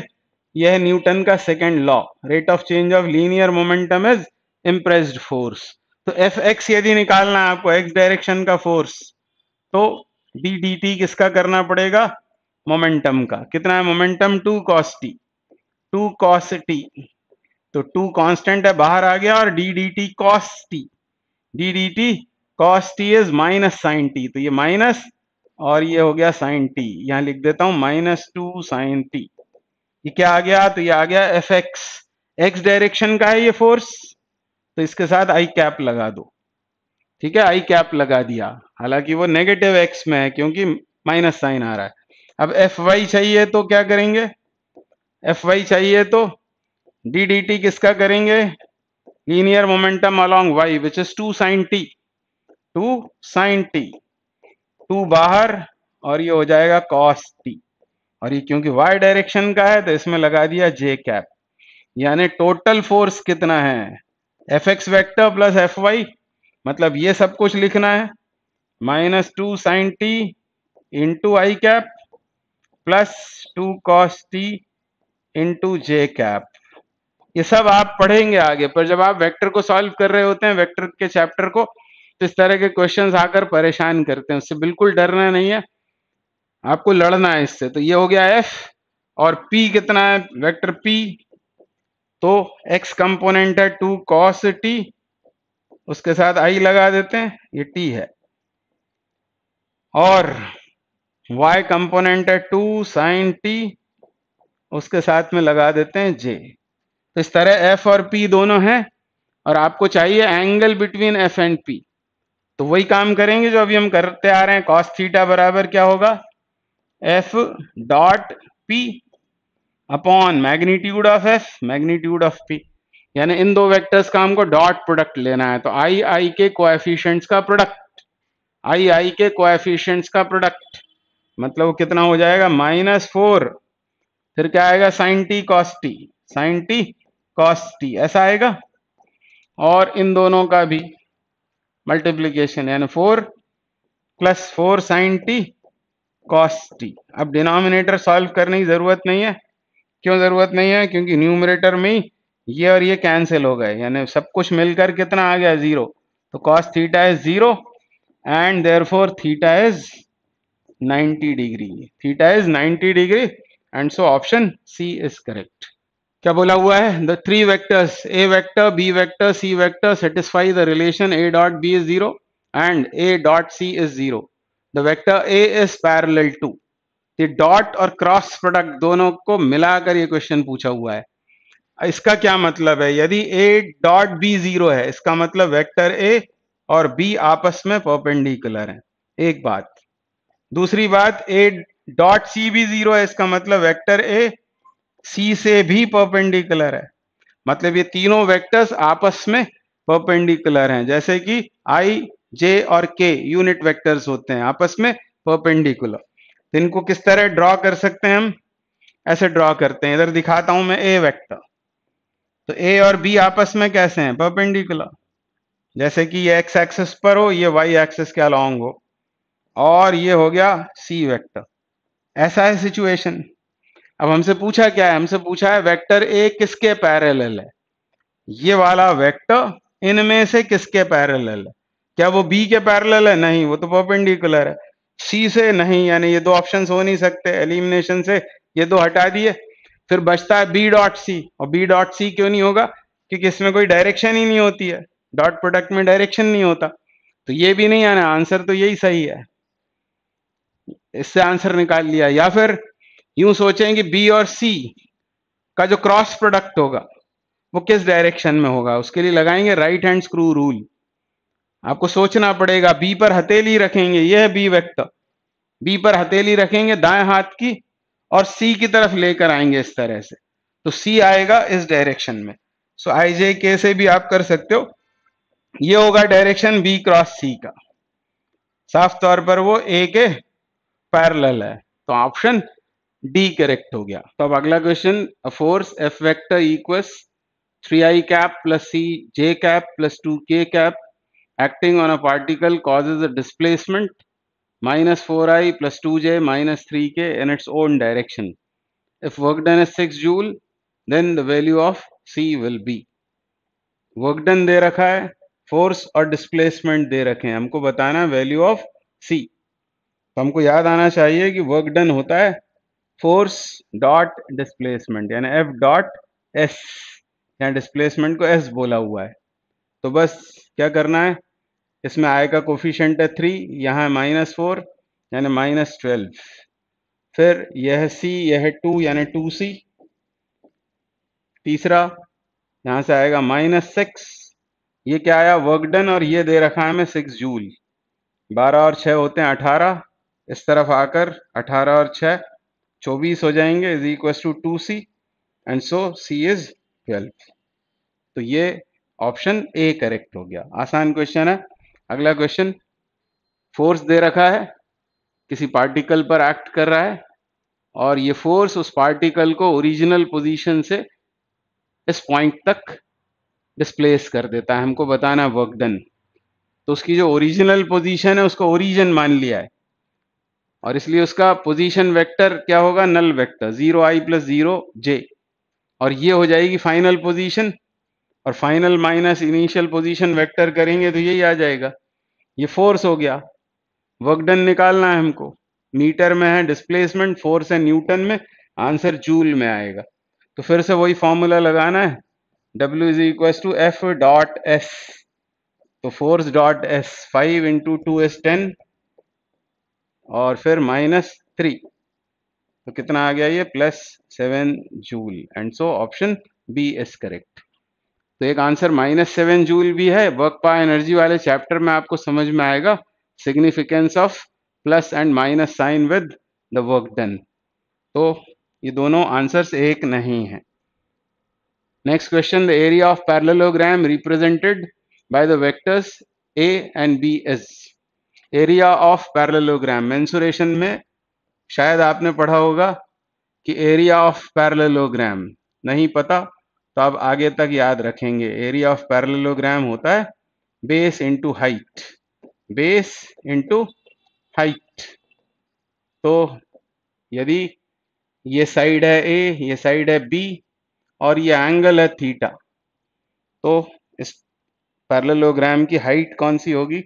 तो ये होगी हाइट और इसको क्या लिख सकते हैं? ए साइन थीटा यानी एरिया ऑफ़ पैरेललोग्राम हो जाएगा ए बी साइन थीटा इस पर्टिकुलर फिगर में.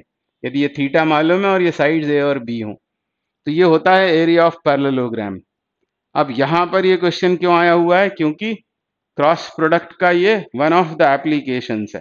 क्रॉस प्रोडक्ट से हम पैरेललोग्राम का एरिया फाइंड आउट कर सकते हैं. वो किस तरह? तो मान लो यह है पैरेललोग्राम और पैरेललोग्राम की दो एडजेसेंट साइड्स इन दो वेक्टर से रिप्रेजेंट हो रही हैं। मान लो यह है ए वेक्टर और यह है बी वेक्टर ये पैरेललोग्राम है, ये दो एडजेसेंट साइड्स और इनके बीच एंगल है, मान लो थीटा तो यदि हम ए क्रॉस बी फाइंड करें और उसका मैग्नीट्यूड ले लें तो कितना होगा? तो ऑब्वियसली वो होगा ए बी साइन थीटा सिर्फ़ मॉडुलस या मैग्नीट्यूड अब इस ट्रायंगल में ट्रायंगल नहीं बनाया मैंने अभी, बनाता हूँ। या नॉर्मल ड्रॉप करें। इस ट्रायंगल में ये कितना होगा? मैग्नीट्यूड में ये होगा A sine theta. A sine theta. और ये इस पैरेललोग्राम की हाइट बनेगी और ये जो लेंथ है मतलब वेक्टर बी का मैग्नीट्यूड, वो बनेगा बेस। तो साफ़ तौर पर A sine theta is height, B is base, यानी B into A sine theta. Gives area of parallelogram in other words magnitude of A cross B modulus of A cross B will give area of parallelogram तो फिर क्या करें अब? हम पहले निकालते हैं ए क्रॉस बी ये निकालना हमको आता है? ऐसा एक डिटर्मिनेंट बनाते हैं। पहली रो में क्या लिखते हैं? पहली रो में लिखते हैं आई जे और के और फिर ये सेकंड रो में क्या लिखते हैं? पहले वेक्टर के कोएफिशिएंट का पहले वेक्टर के कोएफिशिएंट्स आई और जे और के के। अब यहाँ पर ए क्रॉस बी, पहले आया हुआ है तो ए के कोएफिशिएंट्स लिखेंगे, टू, थ्री और ज़ीरो। ये हो जाएगा। और अब बी के, वन, फोर और zero, one, four and zero. और अब कैसे सॉल्व करते हैं? पहले लिखेंगे आई कैप। और फिर ये कॉलम, ये रो छोड़ देंगे। इसका इसमें इसका इसमें प्रोडक्ट करेंगे तो तो ज़ीरो हो गया। फिर जे लेते हैं। इसे छोड़ा इसे छोड़ा, इसका इसमें मल्टीप्लीकेशन ज़ीरो ये भी ज़ीरो ये भी ज़ीरो हो गया। फिर के लेते हैं। के लेंगे तो इसका इसमें, यानी एट फिर इसका इसमें मल्टीप्लाई यहाँ बीच में माइनस साइन यानी फाइनली क्या आया? फाइव के कैप ये आया ए क्रॉस बी और इसका हमें चाहिए सिर्फ़ मैग्नीट्यूड तो वो कितना हो गया? वो हो गया फाइव यानी five units will be the answer अब इसमें के कैप क्या बता रहा है? के कैप बता रहा है कि एरिया वेक्टर क्वांटिटी है। अब तक आपने नहीं पढ़ा है। टेंथ तक आप एरिया निकालते हो, उसका सिर्फ़ मैग्नीट्यूड निकालते हो।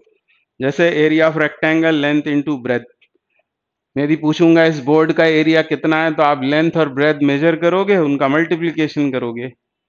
डायरेक्शन पूछेंगे तो याद रखना कि एरिया में नेचुरली डायरेक्शन नहीं होती। डायरेक्शन का सेंस नहीं होता।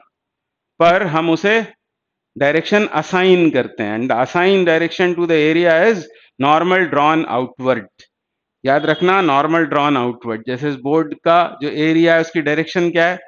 तो पेन ओपन करना और उल्टा पेन उसके ऊपर ऐसे रख देंगे. ये उसकी डायरेक्शन हो जाएगी.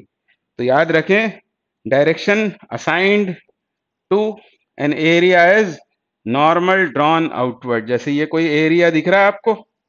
इस एरिया की ये डायरेक्शन है। नॉर्मल ड्रॉन आउटवर्ड ट्वेल्थ में आप पढ़ेंगे, इसको डी एस वैक्टर बोलेंगे, क्योंकि एलिमेंट्री एरिया है। हाल फ़िलहाल याद रखना कि area is a vector and direction assigned to it is normal drawn outwards इतना याद रखना, क्यों इसे ज़बरदस्ती एरिया को वेक्टर बनाया है? ये बाद में समझ में आएगा आपको। जब आप ट्वेल्थ में पहुँच जाएँगे इलेक्ट्रोस्टैटिक्स में जब आप फ्लक्स पढ़ रहे होंगे, तब ये समझ में आएगा। तो हाल फ़िलहाल ये जो के आया है, ये क्या बता रहा है? कि एरिया तो है फाइव और उसकी डायरेक्शन है जेड की पॉजिटिव डायरेक्शन में, क्योंकि हो सकता है कि ये कहाँ हो? ये हो एक्स वाई प्लेन में। पैरेललोग्राम एक्स वाई प्लेन में है। ये जो सरफेस दिख रही है और उसकी डायरेक्शन ये है। नॉर्मल ड्रॉन आउटवर्ड्स तो ये इस क्वेश्चन का आंसर है. फाइव यूनिट्स अगला क्वेश्चन करेंगे. If two vectors A and B A cross B is zero the vectors A cross B zero तो ए क्रॉस बी कितना होता है? ए क्रॉस बी होता है एक वेक्टर सी वेक्टर और उसको लिख सकते हैं हम A B sine theta magnitude में और ये उस वेक्टर प्रोडक्ट की डायरेक्शन तो ये उसकी डेफिनेशन है क्रॉस प्रोडक्ट की। अब ए क्रॉस बी कब ज़ीरो होगा? यदि ए और बी नॉन ज़ीरो हैं, फिर भी क्रॉस प्रोडक्ट ज़ीरो है। इसका मतलब साइन थीटा ज़ीरो है। और साइन थीटा ज़ीरो कब होगा? जब थीटा होगा ज़ीरो मतलब angles angle between the vectors is zero vectors are perpendicular parallel sorry parallel और या फिर पाई रेडियन में, यानी एंटी पैरेलल पैरेलल या एंटी पैरेलल वेक्टर्स का क्रॉस प्रोडक्ट ज़ीरो होता है। And so option B is correct अगला question A cross B is equal to B cross A the angle between A and B is क्या ये कभी बराबर होगा? नहीं होगा। याद रखना कि ए डॉट बी ये बी डॉट ए के बराबर होता है हमेशा। पर A cross B A cross B ये कभी भी बी क्रॉस ए के बराबर नहीं होगा। ये सिर्फ़ यदि ज़ीरो है, जैसा यहाँ ज़बरदस्ती इसको ज़ीरो नहीं इक्वल ज़बरदस्ती इक्वल किया है तो तभी पॉसिबल है जब ए क्रॉस बी भी एक नल वेक्टर हो और बी क्रॉस ए भी एक नल वेक्टर हो। मतलब ज़ीरो आए क्रॉस प्रोडक्ट ज़ीरो वेक्टर आए। ये कब पॉसिबल है इन एंगल्स में से? तो ये पॉसिबल है जब एंगल हो पाई मतलब वेक्टर्स हो anti parallel anti parallel vectors हो। तो वैसे तो ये पॉसिबल नहीं है, पर क्योंकि यहाँ नॉट पॉसिबल आंसर नहीं है तो हमको पाई इसे टिक करना पड़ेगा। मतलब जब वेक्टर्स एंटी पैरेलल होंगे, तब चाहे आप ए क्रॉस बी करें या बी क्रॉस ए आपको मिलेंगे दोनों बार ज़ीरो वेक्टर या नल वेक्टर तो हाल फ़िलहाल के लिए आंसर सी है। और मान लो एक और ऑप्शन होता है यहाँ नॉट पॉसिबल तो फिर हम प्रेफरेंस इसको देते ई e को। ई e को। हालाँकि यहाँ नहीं बोला है कि क्रॉस प्रोडक्ट जो है वो ज़ीरो नहीं है, ऐसा तो नहीं बोला है। तो ऑप्शन सी करेक्ट हो जाएगा। तो कहीं कहीं हमको ऐसे लॉजिक्स लगाने पड़ते हैं ऊट पटांग। अब क्या बोल रहे हैं? The angle between the vectors A and B is theta the value of triple product triple product ये है ए वेक्टर और इसका डॉट प्रोडक्ट ले रखा है बी क्रॉस ए के साथ में। हमको क्या बताना है? Value of this triple product तो कैसे करेंगे सॉल्व तो पहले मान लेते हैं कि ए और बी तो एक प्रॉपर्टी यहाँ काम आ रही है इंपॉर्टेंट वो प्रॉपर्टी पहले मैं आपको समझाता हूँ। वो प्रॉपर्टी ये है कि जब भी आप ए क्रॉस बी लेते हैं ए क्रॉस बी तो आपको एक वेक्टर मिलता है। और प्रॉपर्टी यह है कि ये जो क्रॉस प्रोडक्ट है, इन दोनों से वो परपेंडिकुलर होता है। मतलब ए परपेंडिकुलर टू सी बहुत इंपॉर्टेंट प्रॉपर्टी है। Also B perpendicular to C A and B जो मल्टीप्लीकेंट्स हैं ए एंड बी में और मे नॉट बी परपेंडिकुलर वो आपस में ए और बी परपेंडिकुलर हो भी सकते हैं, नहीं भी हो सकते। पर जो क्रॉस प्रोडक्ट है, उन दोनों वेक्टर्स से वो परपेंडिकुलर होता है। बहुत इंपॉर्टेंट प्रॉपर्टी है। तो अब क्या बोला है यहाँ? बी क्रॉस ए तो पहले बी और ए ड्रॉ करते हैं। मान लो मान लो कि ये प्लेन है, जिसमें ए और बी लाई कर रहे हैं। ठीक है? ये है, मान लो ए वेक्टर ये है ए वेक्टर और दूसरा है ये है बी वेक्टर सपोज़ ये हो गया बी वेक्टर ये हो गया ए वेक्टर और आपने इसका क्रॉस प्रोडक्ट लिया। क्या लिया आपने? बी क्रॉस ए तो बी क्रॉस ए करेंगे तो ये जो क्रॉस प्रोडक्ट आएगा, उसको आप सी भी बोल सकते हैं। वो कहाँ आएगा? तो उसके लिए राइट हैंड स्क्रू रूल लगाएँगे, वो भी मैंने आपको पढ़ाया हुआ है।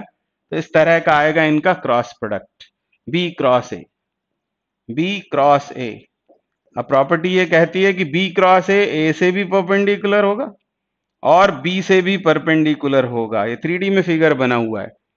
A perpendicular B cross A B perpendicular B cross A और हमें चाहिए डॉट प्रोडक्ट किस किस का? इस वेक्टर का और ए का। तो क्लियरली ये एंगल कितना है? 90 और डॉट प्रोडक्ट कितना होगा? उसमें आएगा cos 90 cos 90 is zero and so option B is correct इस प्रॉपर्टी को हम यूज़ करेंगे रे ऑप्टिक्स में ज्योमेट्रिकल ऑप्टिक्स में। वहाँ इसकी ज़रूरत पड़ती है रिफ्लेक्शन रिफ्रैक्शन वाली प्रॉब्लम्स को सॉल्व करने के लिए। अगला question a vector f1 is along positive x axis if its vector product with another vector f2 is zero, एक वेक्टर है f1 दूसरा एक और वेक्टर है f2 और इनका वेक्टर प्रोडक्ट ज़ीरो है। देन f2 कुड बी अब इनका वेक्टर प्रोडक्ट यदि ज़ीरो है इसका मतलब क्या है एफ़ वन और एफ़ टू का? या तो वो पैरेलल हैं, या फिर वो एंटी पैरेलल हैं। एफ़ वन कहाँ काम कर रहा है? तो एफ़ वन काम कर रहा है एक्स की पॉजिटिव डायरेक्शन में। यहाँ शो कर देते हैं उसको। यहाँ शो कर देते हैं। ये है, मान लो वो F one vector F one vector ये है वो। एक्स की पॉजिटिव डायरेक्शन में काम कर रहा है। और दूसरे किसी वेक्टर F2 के साथ इसका वेक्टर प्रोडक्ट ज़ीरो है। इसका मतलब F2 कहाँ है? F2 या तो ऐसा है, या फिर वो ऐसा हो सकता है एंटी पैरेलल ये F2 ऐसा होगा पैरेलल एंगल ज़ीरो या फिर वो ऐसा होगा एंटी पैरेलल एंगल 180 तो वो कहाँ पर होगा, ऐसा पूछा हुआ है। क्या वो यहाँ होगा वाई एक्सेस के अलोंग नहीं होगा? यहाँ तो नहीं हो सकता। ठीक है, यहाँ नहीं होगा, थीटा को क्या होना चाहिए, या तो ज़ीरो या वन एट्टी होना चाहिए। ये भी नहीं होगा, ये भी नहीं होगा, उसमें साफ़ दिख रहा है ये। एक्स की नेगेटिव डायरेक्शन में होगा मतलब angle between them is pi यानी 180 डिग्री। तो ऑप्शन डी करेक्ट हो गया। नेक्स्ट क्वेश्चन क्या बोल रहे हैं? The angle between vectors A cross B and B cross A is अभी बात हुई थी इसकी। अभी बात हुई थी, फिर से एक बार बात कर लेते हैं। ये कोई प्लेन है मान लो। और इसमें ये दो वेक्टर्स हैं। ये वेक्टर ए ये वेक्टर बी सपोज़ कोई भी आप मान सकते हैं, यह है ए यह है बी और राइट हैंड स्क्रू रूल लगाएँगे तो जो वेक्टर प्रोडक्ट है इनका ए क्रॉस बी करेंगे तो वो कैसा आएगा? ऊपर। वो आएगा ऊपर, यहाँ आएगा A cross B R H S R लगाकर। और यदि आप बी क्रॉस ए करेंगे तो वो इधर आने लगेगा। ये सॉरी ए क्रॉस बी ऊपर आएगा तो ये हो जाएगा बी क्रॉस ए मतलब इन दोनों के बीच जो एंगल होगा, वो होगा 180 डिग्री या pi radian and so option B is correct अगला क्वेश्चन करेंगे। क्या बोला है? What is the angle between P plus Q and P cross Q P cross Q अब फिर से एक प्लेन बनाते हैं। और यह है P, यह है Q P क्रॉस Q करोगे? P क्रॉस Q तो वो कहाँ आएगा? वो आएगा इधर। This is P cross Q P cross Q R H S R से। और P प्लस क्यू कहाँ पर होगा? P प्लस क्यू का मतलब तो हुआ एडिशन एडिशन यहाँ कहीं होगा? पैरेललोग्राम लॉ से। और क्या? ये एंगल 90 नहीं होगा? यस P और Q सेम प्लेन में? उनका रिजल्टेंट भी उसी प्लेन में और उस रिजल्टेंट का एंगल पूछा हुआ है पी क्रॉस Q से, यानी answer is 90 degree option B is correct अगला क्वेश्चन क्या बोल रहे हैं? A three I plus four J है बी है seven I plus twenty four J the vector having the same magnitude as B and parallel to A is तो पहले unit vector का कॉन्सेप्ट समझ लेते हैं, जानते तो हैं ही आप। यूनिट वेक्टर क्या होता है? किसी वेक्टर को उसके मॉडुलस से डिवाइड करने पर उसी की डायरेक्शन का यूनिट वेक्टर मिलता है।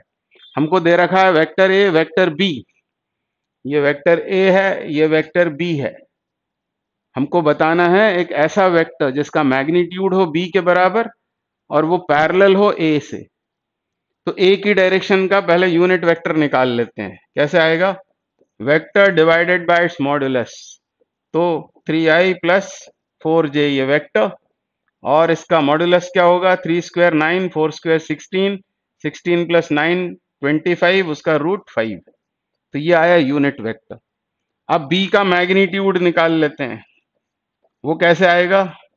अंडर रूट सेवन स्क्वायर, यानी forty nine, plus twenty four square. मैं नहीं जानता, वैसे फाइव सेवन सिक्स होता है मेरे ख्याल से। यस, और ये छह सौ पच्चीस बनेगा। और इसलिए आ जाएगा पच्चीस। और हमको कौन सा वेक्टर चाहिए?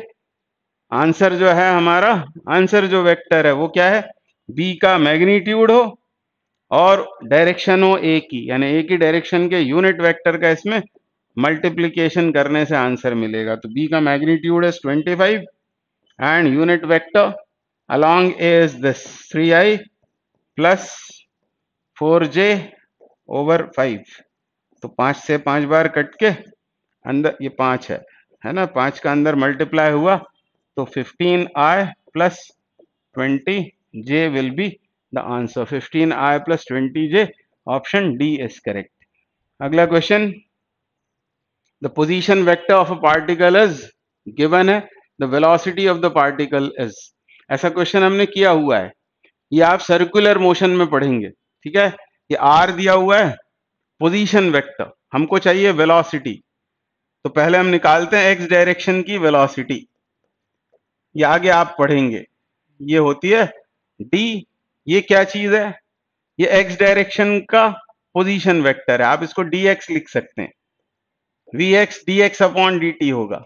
यानी आपको करना है डी डी टी ऑफ़ दस ए कॉस ओमेगा टी तो ये हो जाएगा ए तो बाहर आएगा.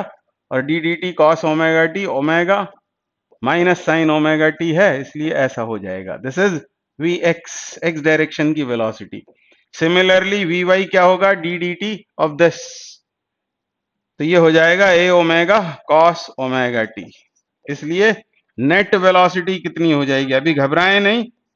मान लो आपको नहीं आ रहा है समझ में तो कोई बात नहीं, क्योंकि अभी आपको हो सकता है डिफ्रेंसिएशन नहीं आता होगा, आने लगेगा। करना कैसे, क्या करना है, वो अभी समझना है।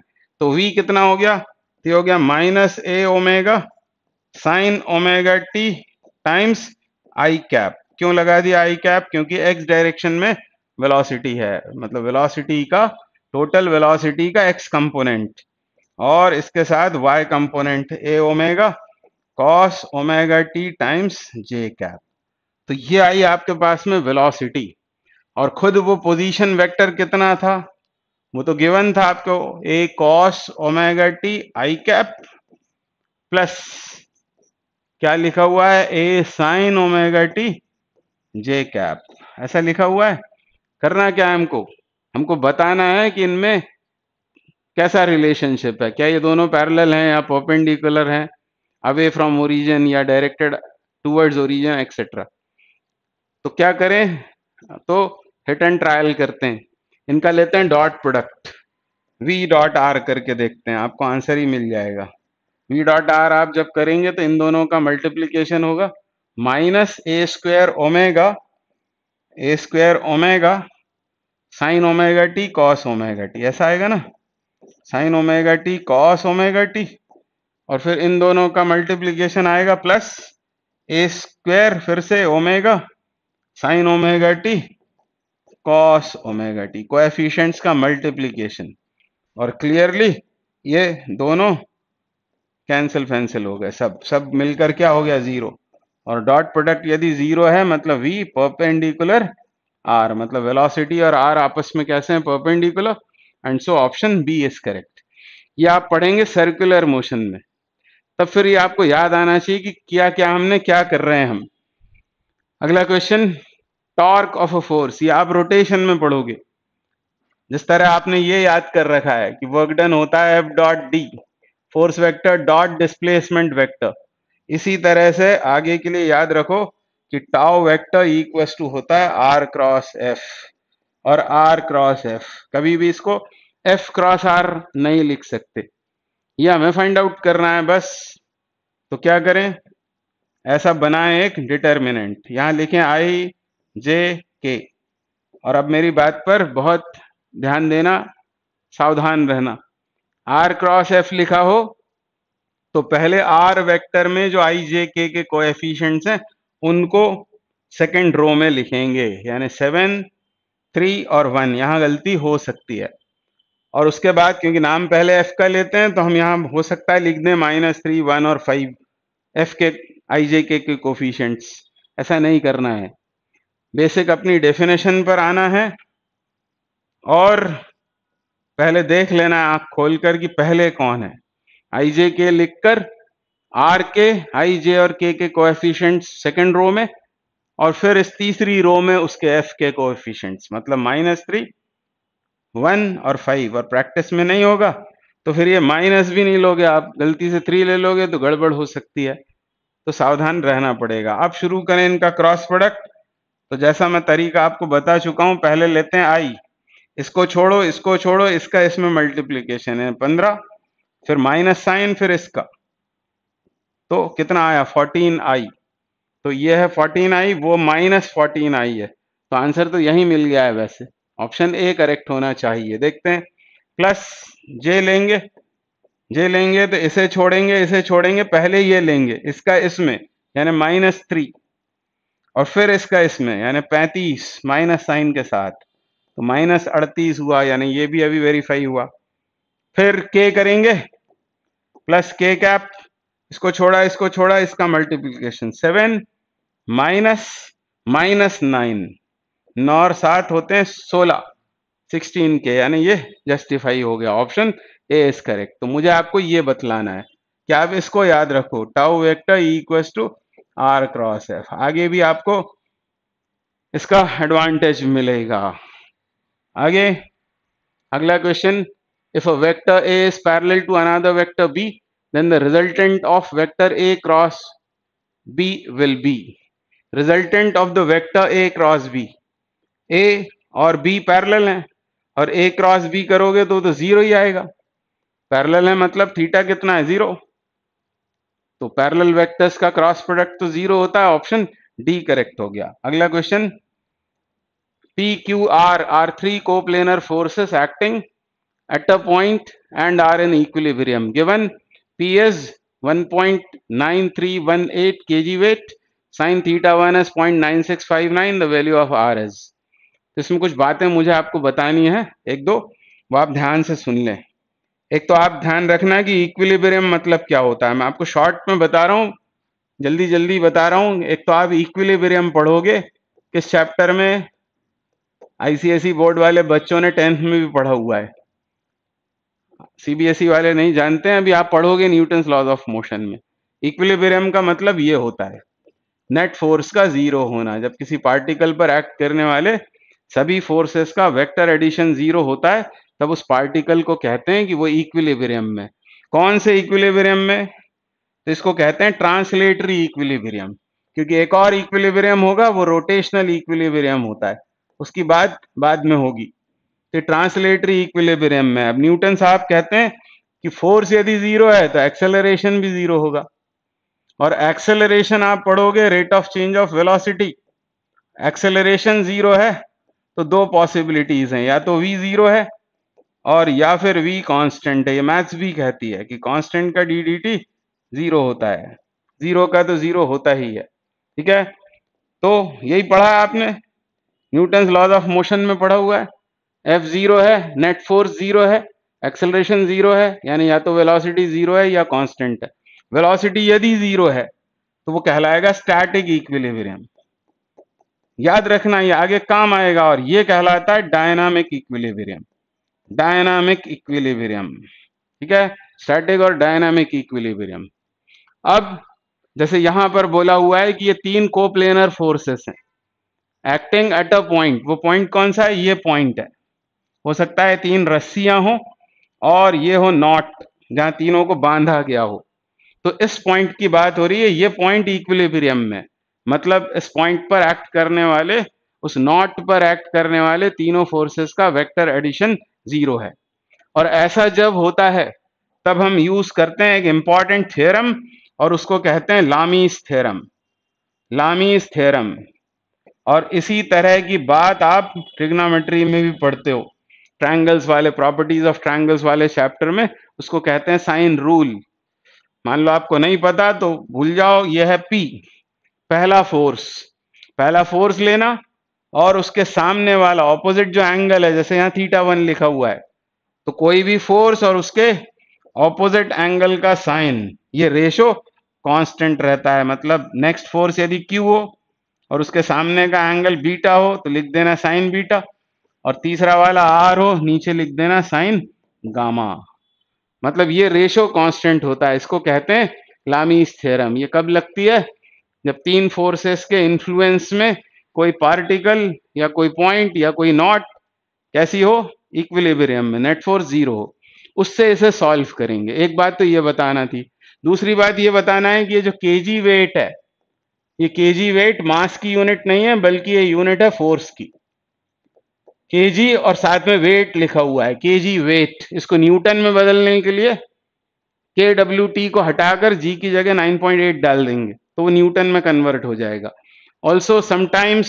Forces measured in gram weight C G S unit ये ऐसा यूनिट ग्राम वेट के जी वेट अब इसको सॉल्व करते हैं। हमको बताना है वैल्यू ऑफ़ आर ये बतलाना है तो पहले ये लेते हैं पी पी पी दे रखा है हमें। अपॉन साइन थीटा वन और साइन थीटा वन भी दे रखा है। साइन थीटा वन यही लगा रहा हूँ मैं लामी थ्योरम इज़ इक्वल टू ये लेना आर और इसके नीचे ऑपोजिट एंगल का साइन यानी साइन 150 तो देखने में डरावना क्वेश्चन है, वैसे आसान है बहुत। अब बस वैल्यूज़ ही तो डालनी है। पी कितना होगा? पी है ही दिया हुआ one point nine three one eight और साइन थीटा वन ये जानबूझकर ये वैल्यू बनाई गई है इसकी। Five six five nine nine six five nine ये लिख दिया यहाँ? और साइन वन फिफ्टी का होगा क्रॉस मल्टीप्लीकेशन। साइन 150 होता है हाफ़ तो हमको मिल गया आर। और अब आप ध्यान से देखें तो यदि इसका दुगना कर दें, point nine six five nine का डबल कर दोगे तो ये आ जाएगा। मतलब सब कुछ कट कर, आर कितना हो गया वन। आर कितना हो गया वन। ठीक है, और वन क्या? केजी वेट, क्योंकि पी दे रखा था केजी वेट में तो आर भी केजी वेट में होगा, ऑप्शन सी इज़ करेक्ट तो ये इसका करेक्ट आंसर है। तो अब आपको आगे के लिए ये लामीस थ्योरम भी याद रखनी है। इक्विलिब्रियम का मतलब भी ध्यान में रखना है। ठीक है, ये आपको आगे काम आएगा। आगे बढ़ेंगे। तो अब नेक्स्ट क्वेश्चन करेंगे। ये क्वेश्चन है, बोट रिवर प्रॉब्लम या river boat problem relative motion की प्रॉब्लम। तो इस तरह की प्रॉब्लम्स आप काइनामेटिक्स में करते हैं, पर वेक्टर अलजेब्रा की एक्सरसाइजेज में भी ये प्रॉब्लम्स दिखाई देती हैं। क्योंकि ये एप्लीकेशन है वेक्टर अलजेब्रा का। इसमें हम रिजोल्यूशन एडिशन सब्ट्रैक्शन के कॉन्सेप्ट यूज़ करते हैं। तो कौन कौन सी प्रॉब्लम्स हो सकती हैं? या तो होगी river boat problem river swimmer problem या कभी कभी होती है रेन एंड मैन प्रॉब्लम या फिर विंड एरोप्लेन प्रॉब्लम तो इस तरह की प्रॉब्लम्स को हम वेक्टर्स के कॉन्सेप्ट से सॉल्व करते हैं। तो ये प्रॉब्लम हम करें, उसके पहले जल्दी से रिकैप करेंगे रिलेटिव मोशन रिलेटिव मोशन का मतलब क्या है? जल्दी से सुन लेते हैं और फिर इस तरह के क्वेश्चंस के लिए कुछ जनरल फॉर्मूले बना लेंगे हम, ताकि आप ऑब्जेक्टिव आने पर जल्दी से उसको सॉल्व करें। पर अभी आपको इसे डिटेल में बहुत अच्छे से सुनना पड़ेगा। रिलेटिव मोशन का मतलब क्या है? तो जब एक मूविंग बॉडी की वेलोसिटी दूसरे मूविंग बॉडी के रिलेटिव बताई जाती है तो उसको कहते हैं रिलेटिव वेलोसिटी और इस तरह से उसको हम लिखते हैं, उसका नोटेशन ये है। और इसका मतलब क्या है? इसका मतलब है velocity of A with respect to B A और बी दो बॉडीज हैं। और हम जानना चाहते हैं वेलोसिटी ए की विद रिस्पेक्ट टू बी तो उसे लिखते हैं वी ए बी और ये होता है V A minus V B सबसे पहले तो इस इक्वेशन को लिखने की ही आपको प्रैक्टिस करनी चाहिए। V A B is V A minus V B और यदि आपको चाहिए वी बी ए मतलब velocity of B with respect to A तो वो हो जाएगा V B minus V A अब ये ए और बी जो लिखे हुए हैं, यहाँ पर हमने सब्सक्रिप्ट में केवल ए लिखा है या केवल बी लिखा है। तो ये दो वेलोसिटीज हैं ग्राउंड के रिलेटिव जिनको कहते हैं एब्सोल्यूट वेलोसिटीज तो ए और बी दो बॉडीज हैं। हो सकता है रिवर और स्विमर की बात हो रही हो। तो वी ए सिर्फ़ लिखा है मतलब यह है ए की absolute velocity with respect to ground और यह है बी की एब्सोल्यूट वेलोसिटी हमको चाहिए वेलोसिटी ए की रिलेटिव टू बी तो उसे लिखेंगे V A minus V B और वी बी ए चाहिए होगा तो V B minus V A करेंगे। यानी रिलेटिव वेलोसिटी वेक्टर सब्ट्रैक्शन से हम मालूम कर सकते हैं। और वेक्टर सब्ट्रैक्शन एडिशन ही होता है। आप जानते हैं V A minus we B करना है तो वी ए वैक्टर में माइनस वी बी वैक्टर को ऐड कर देंगे। तो वेक्टर एडिशन सब्ट्रैक्शन का ही ये एप्लीकेशन है। पहले तो ये दिमाग में होना चाहिए। अब जो प्रॉब्लम्स होती हैं, उसके लिए इक्वेशंस आपको लिखना आनी चाहिए, उसकी थोड़ी प्रैक्टिस आपको करनी चाहिए। जैसे आप सुनेंगे रिवर स्विमर प्रॉब्लम पहली बार यदि आप कर रहे हैं तो ये पूरी बात सुने। और यदि आपको आता है क्वेश्चन तो आपको इसको डिस्कशन को स्किप कर सकते हैं। तो रिवर स्विमर प्रॉब्लम तो उसमें आप सुनेंगे velocity of swimmer with respect to river velocity of swimmer with respect to river ये दो मूविंग बॉडीज हैं। स्विमर भी तैर रहा है और रिवर भी बह रही है। हमको चाहिए वेलोसिटी स्विमर की विद रिस्पेक्ट टू रिवर तो इसको हम लिखेंगे V S vector minus V R vector ऐसा लिखेंगे। इसी बात को आप इस तरह भी लिख सकते हैं। कई बार हमको इस इक्वेशन की ज़रूरत होती है। V S is equal to इसको यहीं रहने दिया, इसे ट्रांसपोज कर लिया। तो ये हो गया V S R plus V R ऐसा भी आप लिख सकते हैं। वेलोसिटी स्विमर की विद रिस्पेक्ट टू ग्राउंड ये होगी वेलोसिटी स्विमर की with respect to river plus velocity of river यानी वेक्टर एडिशन करना इन दो वेक्टर्स का ये मिल जाएगा। तो रिवर स्विमर प्रॉब्लम हो तो ये इक्वेशन दिमाग में आनी चाहिए। अब यदि कभी प्रॉब्लम आती है, मान लो रेन एंड मैन ये भी बहुत पूछी जाती है रेन मैन प्रॉब्लम तो रेन मैन प्रॉब्लम होगी तो फिर क्या लिखेंगे? Velocity of rain with respect to man इसको क्या लिखेंगे आप? वेलोसिटी रेन की माइनस वेलोसिटी मैन की। ये दोनों ग्राउंड के रिलेटिव हैं और ये है रेन की विद रिस्पेक्ट टू मैन। वो पूछते हैं ना कि अम्ब्रेला किस एंगल पर होल्ड करना पड़ेगा? एक वुमेन है, वो वॉक कर रही है इस स्पीड से और रेन इस स्पीड से गिर रही है तो उसे अपना अम्ब्रेला किस डायरेक्शन में होल्ड करना पड़ेगा? ऐसा क्वेश्चन आता है। तो रेन मैन प्रॉब्लम होगी तो ये इक्वेशन बनानी हमको आ जानी चाहिए। इसी को हम लिख सकते हैं इस तरह। Velocity of rain is equal to rain with respect to man plus velocity of man इतनी बार लिखो इसे कि गलती ना हो, क्योंकि इन्हीं इक्वेशंस के यूज़ से ही ये सब इस तरह की प्रॉब्लम सॉल्व होती हैं।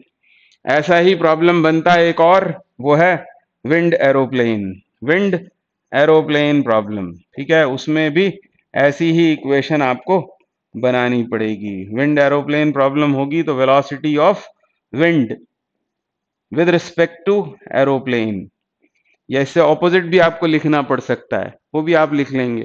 तो velocity of wind with respect to aeroplane is velocity of wind minus velocity of aeroplane या velocity of wind is equal to velocity of wind with respect to aeroplane plus velocity of aeroplane तो बगैर शर्म किए हुए इसको आपको लिखने की प्रैक्टिस करना चाहिए। ये हैबिट में होगा तो काम बड़ा आसान हो जाएगा। ठीक है? तो इस, ये क्वेश्चन अभी हम सॉल्व करेंगे, पर उसके पहले थोड़ी सी हम थ्योरी समझते हैं। किस वाले प्रॉब्लम की? रिवर स्विम प्रॉब्लम की। रिवर स्विम प्रॉब्लम आराम से आप इसको सुनना। आपको पता है तो आप इसको स्किप कर सकते हो। स्किप कर सकते हैं, पर सुनना तो आपको पड़ेगा, क्योंकि इस तरह की प्रॉब्लम्स बहुत आती हैं और सिमिलर टाइप की प्रॉब्लम्स भी बनाई जा सकती हैं। किन्हीं भी दो मूविंग बॉडीज के बीच में इस तरह की प्रॉब्लम फ्रेम की जा सकती है। तो हम बात कर रहे हैं रिवर स्विमर प्रॉब्लम की। अब यहाँ पर हम एक रिवर कंसिडर करते हैं, ठीक है? ये फिगर बनाया मैंने। छोटा सा फिगर बनाएँगे, यह है रिवर और उसकी वर्थ है मान लो डी और यह है स्टार्टिंग पॉइंट यहाँ से इस बैंक से। ये रिवर का आप क्या देख रहे हैं? टॉप व्यू उसके आपको विर्थ दिखाई दे रही है। उस रिवर को ऊपर से देख रहे हैं। ठीक है? ऐसा डायग्राम हमने बनाया है यहाँ। मतलब उसका यह है टॉप व्यू और यह है स्टार्टिंग पॉइंट ये स्टार्टिंग पॉइंट है। यहाँ से उस स्विमर ने तैरना शुरू किया है। रिवर फ्लो इस डायरेक्शन में हो रहा है। तो हम अपना कोऑर्डिनेट सिस्टम इसके साथ अटैच कर देंगे। इस डायरेक्शन को हम सपोज़ कर लेते हैं एक्स एक्सिस और इसको सपोज़ कर लेते हैं वाई एक्सेस तो ये क्या बन जाएगा? ये बन जाएगा ओरिजिन यहाँ से इस पॉइंट से उसने तैरना शुरू किया है। अब इस प्रॉब्लम में आप जानते हैं तीन वेलोसिटीज अपियर होंगी। आपको इक्वेशन लिखना आती है तो फटाफट आप इक्वेशन लिखो। क्या लिखोगे आप? Velocity of swimmer with respect to river is equal to velocity of swimmer minus velocity of river ऐसा लिखोगे ना? या फिर V S V S velocity of swimmer equals to swimmer with respect to river plus velocity of river तीनों को आप जानते हैं, तीनों वेक्टर्स को। ये क्या है? वेलोसिटी रिवर की। तो रिवर की वेलोसिटी तो कहाँ पर होगी? वो यहाँ होगी, इस डायरेक्शन में। ये हो गई रिवर की वेलोसिटी क्योंकि रिवर फ्लो इधर हो रहा है तो this is V R vector ठीक है? अब ये क्या है? तो यह वेलोसिटी स्विमर की विद रिस्पेक्ट टू रिवर तो कई बार इसको लिखा रहता है velocity in still water velocity in किसकी? स्विमर की या बोट की? वेलोसिटी इन स्टिल वाटर ऐसा यदि लिखा हो तो समझ जाना कि वो कौन सी वेलोसिटी है? वो है वेलोसिटी स्विमर की विद रिस्पेक्ट टू रिवर क्योंकि स्टिल वाटर आपने बोल दिया तो ये तो ज़ीरो हो गया. वी आर ज़ीरो हो जाएगा. यानी V S E V S R के बराबर हो गया. तो ये है velocity of swimmer in still water remember important point है, नहीं तो इसमें बड़ा कंफ्यूजन होता है। तो ये है वी आर और वी एस आर हम सपोज़ कर लेते हैं। हम सपोज़ कर लेते हैं कि ये है वी एस आर ये कहीं भी हो सकता है।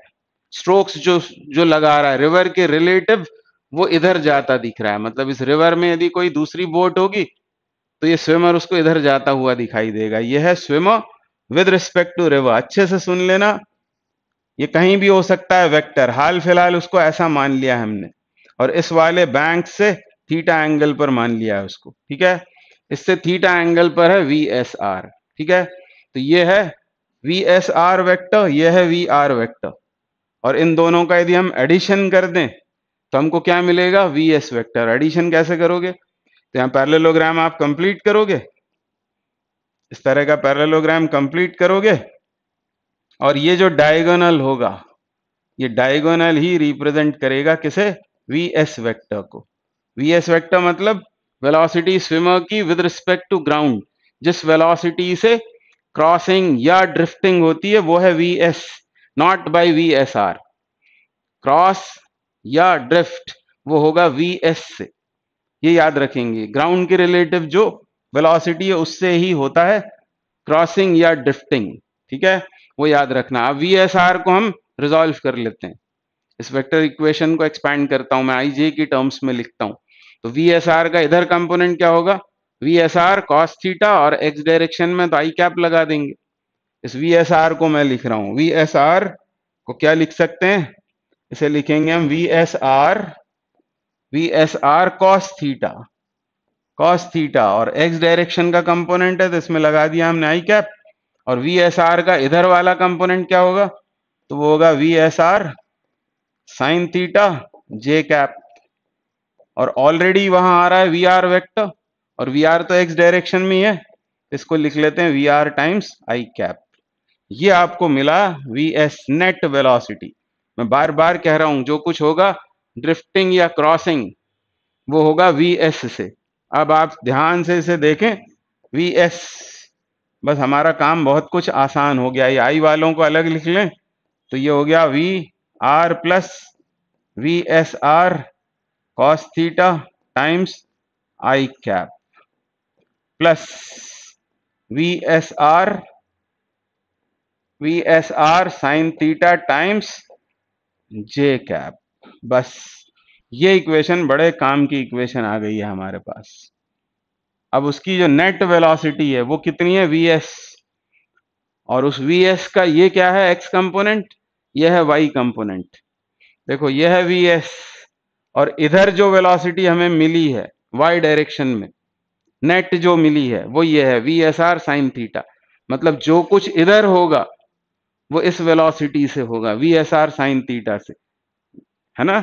और जो कुछ इधर होगा, वो इस वेलोसिटी से होगा. तो अलोंग रिवर फ्लो क्या होगा? ड्रिफ्ट होगा। और परपेंडिकुलर टू रिवर फ्लो क्या होगा? क्रॉसिंग होगा। मतलब जब भी क्रॉसिंग की बात उठे तो हमें ये वाली वेलोसिटी कंसिडर करनी है। और जब भी ड्रिफ्ट की बात हो तो हमें ये वाली वेलोसिटी कंसिडर करनी है। बड़ा सिंपल है। है ना? आगे आपको, आगे तक के लिए इसको याद रखना है। इस फिगर को अपने दिमाग में रखना है। इस इक्वेशन को अपने दिमाग में रखना है। अब बात करते हैं हम क्रॉसिंग की। क्रॉसिंग की बात करते हैं और फिर ड्रिफ्ट की बात करेंगे। तो पहले बात कर रहे हैं हम क्रॉसिंग की। तो आपसे पूछेंगे कि मिनिमम टाइम में क्रॉस करना है या देखते हैं भी बहुत सारे क्वेश्चंस बनते हैं। क्रॉसिंग तो जब भी क्रॉसिंग सुने तो इस डायरेक्शन की वेलोसिटी अब मान लो यहाँ है, ठीक है, यहाँ पर है और क्रॉस करने का हमसे टाइम पूछा हुआ है। टाइम ऑफ़ क्रॉसिंग कर देते हैं इसको। Time of crossing time of crossing तो टाइम ऑफ़ क्रॉसिंग पूछें तो इस डायरेक्शन की वेलोसिटी और ये वाला डिस्प्लेसमेंट लेंगे डी यानी time of crossing will be displacement D upon velocity in Y direction which is V S R sine theta which is V S R sine theta ये आ गया टाइम ऑफ़ क्रॉसिंग का general formula ठीक है? अब यदि मैं आपसे पूछता हूँ मिनिमम टाइम ऑफ़ क्रॉसिंग ये सब पूरी कहानी ध्यान से सुनना आप, नहीं तो अंट शंट आंसर निकलेंगे, है ना? Minimum time of crossing minimum time minimum time तो इस इक्वेशन पर ही ध्यान दो। डी पर हमारा कोई कंट्रोल नहीं है डी तो विर्थ है उस रिवर की। वी एस आर उस स्विमर की दम, यानी स्टेमिना पर डिपेंड करेगा। वो स्विमर बदल सकता है तो क्या? थीटा। ये जो वी एस आर है, ये किसी भी डायरेक्शन में हो सकता है। Angle can be theta theta can be zero ninety और सम ऑप्ट्यूज एंगल कुछ भी हो सकता है वो तो। हमें मिनिमम टाइम जब चाहिए है तो साइन थीटा को क्या होना पड़ेगा? साइन थीटा को होना पड़ेगा मैक्सिमम और साइन थीटा को यदि मैक्सिमम होना है तो कितना होना पड़ेगा? वन और वन वो कब होता है? जब थीटा होता है नाइन्टी तो यदि कौन सी वेलोसिटी वी ये जो, ये वन हो जाएगा तो टाइम मिनिमम हो जाएगा। तो पहले मिनिमम टाइम होगा कितना? कभी कभी मिनिमम टाइम पूछ लेंगे तो मिनिमम टाइम हो जाएगा D upon V S R ठीक है? और इस थीटा को कितना रखना पड़ेगा? 90 मतलब वी एस आर को इस डायरेक्शन में रखना पड़ेगा। मतलब उस स्विमर को इस तरह की कोशिश करना पड़ेगी। कौन सा वेक्टर इधर रखना पड़ेगा? वी एस आर इस डायरेक्शन में। किस एंगल पर? 90 डिग्री पर। और इधर वी आर तो है ही। इधर है वी आर ठीक है, ये वी एस आर और ये वी आर बस क्या हो गया है यहाँ पर? वी एस आर और वी आर है ना? और रिजल्टेंट कहाँ आएगा? रिजल्टेंट आएगा इधर। मतलब ये होगा वी एस ठीक है? इसमें कोई कंफ्यूजन मत रखना। बस हमको थीटा को क्या कर देना है? 90 इसको 90 करते ही से थीटा को ये मैक्सिमम हो जाएगा, टाइम मिनिमम हो जाएगा। यानी यदि उसे मिनिमम टाइम में क्रॉस करना है, ये जनरल फॉर्मूला है। यह हर कहीं लगेगा और जब पूछेगा मिनिमम टाइम तो समझ में आ जाना चाहिए, ये याद आ जाना चाहिए कि थीटा को 90 रखना है। थीटा 90 रखेगा मतलब वी एस आर को इस डायरेक्शन में रखेगा, तब टाइम लगेगा उसे मिनिमम और कितना लगेगा? D upon V S R तो कंडीशन बहुत अच्छे से याद रखनी है। मिनिमम टाइम ऑफ़ क्रॉसिंग ये क्वेश्चन बहुत पूछते हैं। अब बात करते हैं हम ड्रिफ्ट की। ड्रिफ्ट का मतलब क्या होता है? जब वो तैरेगा, जैसे इस डायरेक्शन में तैरेगा, है ना? ये तो कोई जनरल फिगर हमने बनाया था। तो देखो, आप यहाँ पहुंचेगा ना? यहाँ से। यह है वी एस ग्राउंड के रिलेटिव जो वेलोसिटी उससे तय होगा। उसने यहाँ से तैरना शुरू किया है स्टार्टिंग पॉइंट है, ये उसका एंड पॉइंट होगा। यहाँ पहुंचेगा वो ऑपोजिट बैंक पर। तब देखो आप आगे इतना चल गया ना वो। क्यों चला गया? क्योंकि वो दो काम कर रहा है क्रॉस भी कर रहा है और आगे भी जा रहा है। आगे किस वेलोसिटी से जा रहा है? तो आगे जाने की वेलोसिटी ये है। और क्रॉस करने की वेलोसिटी ये है। तो क्रॉस करने का टाइम ये है। D upon V S R sine theta general और मिनिमम टाइम ये है D upon V S R ठीक है? और ये है उसकी ड्रिफ्ट की वेलोसिटी तो यदि आपसे पूछेंगे ड्रिफ्ट कितना है? ड्रिफ्ट मतलब आगे कितना बढ़ गया? ये पूछेंगे और फिर मिनिमम ड्रिफ्ट भी पूछते हैं। मिनिमम ड्रिफ्ट तो पहले ड्रिफ्ट निकालें। तो ड्रिफ्ट कितना होगा? तो फॉरवर्ड डायरेक्शन की velocity V R plus V S R cos theta ये थेरी आपने यदि बहुत अच्छे से सुनी है तो तो क्या होगा? तो क्वेश्चन बड़े आसानी से आपसे बनेंगे। उसी समय वो फॉर्मूला डिराइव हो जाएगा जो आप चाह रहे हैं। है ना? बिल्कुल प्रॉब्लम नहीं आएगा। ध्यान से यदि आप सब कुछ बातें सुन रहे होंगे, न केवल रिवर्स स्विमर बल्कि दूसरी प्रॉब्लम्स भी आपसे बन जाएँगी। क्योंकि वहाँ आपको जल्दी से उसे सॉल्व करना होता है, देर नहीं करना है। ये डायग्राम बहुत अच्छे से दिमाग में रखो, ये इक्वेशन दिमाग में रखो ये फॉर्मूले भी हो सकता है डायरेक्ट फॉर्मूला ही याद आ जाए और आप फटाफट आंसर कर दें। ये भी हो सकता है। अब ये है ड्रिफ्ट तो ड्रिफ्ट के लिए फॉरवर्ड डायरेक्शन की वेलोसिटी और ये वाला टाइम ये वाला टाइम क्योंकि टाइम तो कॉमन है ना। यहाँ से जब उसने चलना शुरू किया टी ज़ीरो है। दो वेलोसिटीज हैं। है कि नहीं? इधर और इधर। इधर वाली कौन सी है? ये है। और इधर वाली कौन सी है? ये है। ठीक है?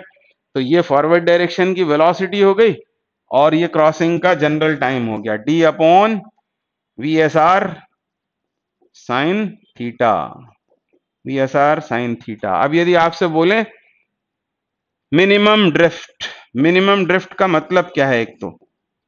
तो ये जो स्विमर है, ये चाहता है कि ऑपोजिट बैंक पर ठीक ऑपोजिट पॉइंट पर वो पहुँचे. यहाँ पहुँचना चाहता है वो.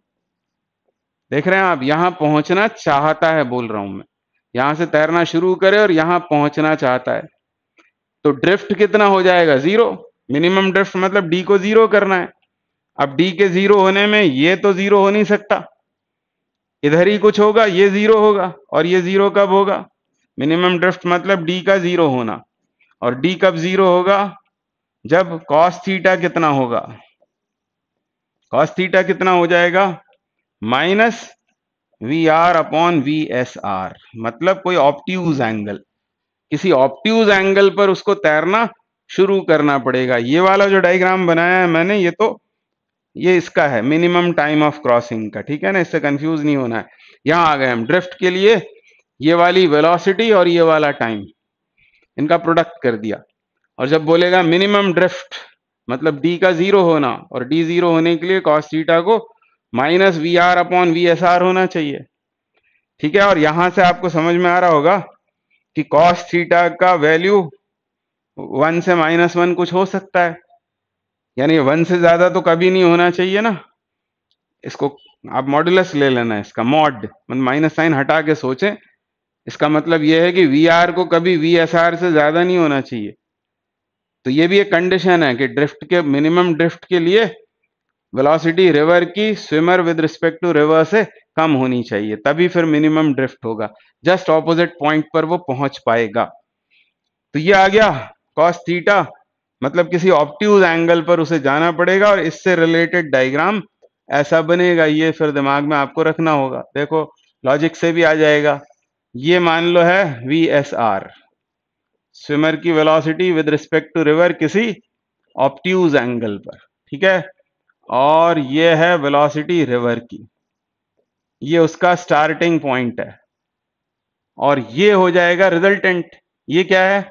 रिवर की वेलोसिटी ये क्या है? वी एस आर तो V S R plus V R वो देख रहे हैं आप वी एस और वी एस इस डायरेक्शन में और वी एस से ही वी एस से ही ग्राउंड के रिलेटिव कुछ होता है। यानी यहाँ से वो चलना शुरू करेगा और यहाँ पहुंचेगा। वी एस से ही हमको बताना होता है कि क्रॉस करने में टाइम कितना लगा या ड्रिफ्टिंग कितनी हुई? तो देखो वी एस यहाँ पर है। मतलब मतलब क्या ग्राउंड के रिलेटिव देखे जाने पर वो यूँ जाता दिखेगा और यहाँ पहुंचेगा। ठीक है? और रिवर के रिलेटिव देखोगे तो इधर जाता दिखेगा। है ना? वी एस तो ये आपको याद रखना है। ये छोटी सी थेरी हुई। अब मैं उन क्वेश्चंस पर आता हूँ, देखते हैं हमसे बनते हैं क्या। क्या हमको याद आ जाएगा क्या? याद आ जाएगा क्या? जो कुछ अभी हमने समझा है वो। तो अब इस थेरी पर बेस्ड क्वेश्चंस करके देखते हैं क्या अब ये हमसे बनेगा। इस क्वेश्चन से हमने शुरू किया था 42 से। The speed of a boat is 5 kilometre per hour in still water तो याद ही आ जाना चाहिए कि ये है वेलोसिटी बोट की विद रिस्पेक्ट टू वाटर या with respect to river V B R vector का ये मॉडुलस है फाइव यूनिट है उसकी kilometre per hour it crosses a river of width one kilometre एक किलोमीटर विर्थ है रिवर की। Along the shortest possible path shortest possible path सुनते ही से याद आना चाहिए। मिनिमम ड्रिफ्ट की बात हो रही है। शॉर्टेस्ट पाथ कौन सा होगा? ऑपोजिट बैंक के किसी पॉइंट पर वो पहुँच जाए, सामने वाले पॉइंट पर। मिनिमम ड्रिफ्ट की बात हो रही है ये टाइम दिया हुआ है। मिनट्स में हमको पूछा है वेलोसिटी रिवर की। वेलोसिटी ऑफ़ रिवर फ्लो कितना है? तो मिनिमम ड्रिफ्ट या शॉर्टेस्ट पॉसिबल पाथ का वो डायग्राम आपको याद आ जाना चाहिए। ये वाई एक्सेस या एक्स एक्सेस इधर रखना है उसे अपनी वेलोसिटी बोट को। यह वी बी यह वी बी ऑपोजिट बैंक पर पहुँचने के लिए यहाँ से उसने चलना शुरू किया और यहाँ आ गई वो बोट शॉर्टेस्ट पाथ फॉलो करती हुई, ठीक है? अब वी बी डब्ल्यू कहाँ रखना पड़ेगा? तो ऑब्वियसली उसे किसी ऑप्ट्यूज एंगल पर रखना पड़ेगा। यह है वी बी आर मतलब boat with respect to river vector ठीक है? और ये कंप्लीट करो। पैरेललोग्राम तो ये हो जाएगा रिवर तो ये स्टैंडर्ड टाइप का डायग्राम है। जब भी आप सुनते हैं शॉर्टेस्ट पॉसिबल बात, ऐसा डायग्राम बना लेना। इसको इधर रखना वी बी को। ठीक है? अब क्या क्या दिया हुआ है हमें? क्या पूछा है? ये हमसे पूछा है। वी आर वेक्टर का मैग्नीट्यूड वो पूछा है? और हमको टाइम दे रखा है क्रॉस करने का। तो क्रॉस होता है वो इस वेलोसिटी से।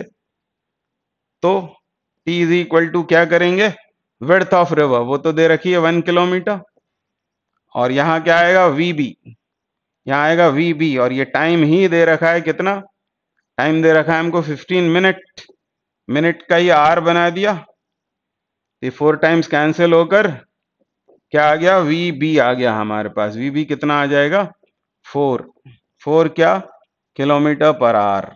मतलब इस वी बी वैक्टर का, ये जो है वी बी वैक्टर इसका मॉडुलस मिल गया आपको कितना? फोर ये मिल गया इस नॉलेज से।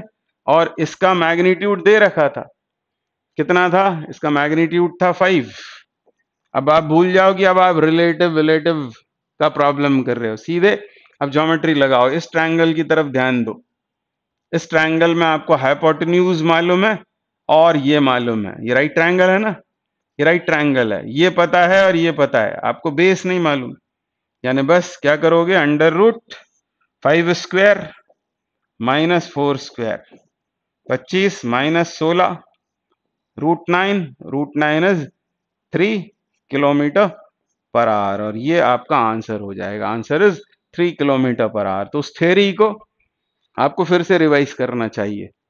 फिर ये ऑब्जेक्टिव टाइप क्वेश्चन है। पिछले कई सालों में कई बार पूछा गया है। ये या इस तरह का क्वेश्चन तो आपको वो एक मिनट के अंदर उसको यदि सॉल्व करके बताना है तो ये सब बहुत अच्छे से दिमाग में होनी चाहिए। तो आसानी से सॉल्व हो गया। ये था क्वेश्चन नंबर फोर्टी टू क्या बोल रहा है? Man crosses a 320 metre wide river perpendicular to current in four minutes तो क्वेश्चन की लैंग्वेज से समझ में आना चाहिए कि फिर से ये मिनिमम ड्रिफ्ट वाला सवाल है। A man crosses 320 metre wide 320 metre width की एक रिवर को चार मिनट में रिवर से परपेंडिकुलर क्रॉस करता है। मतलब इधर हो गई स्विमर की वेलोसिटी ये हो गया वी एस वेक्टर ठीक है, इस वेलोसिटी से चार मिनट में 320 मीटर वाइड रिवर को वो क्रॉस करता है। तो टाइम कितना लगेगा?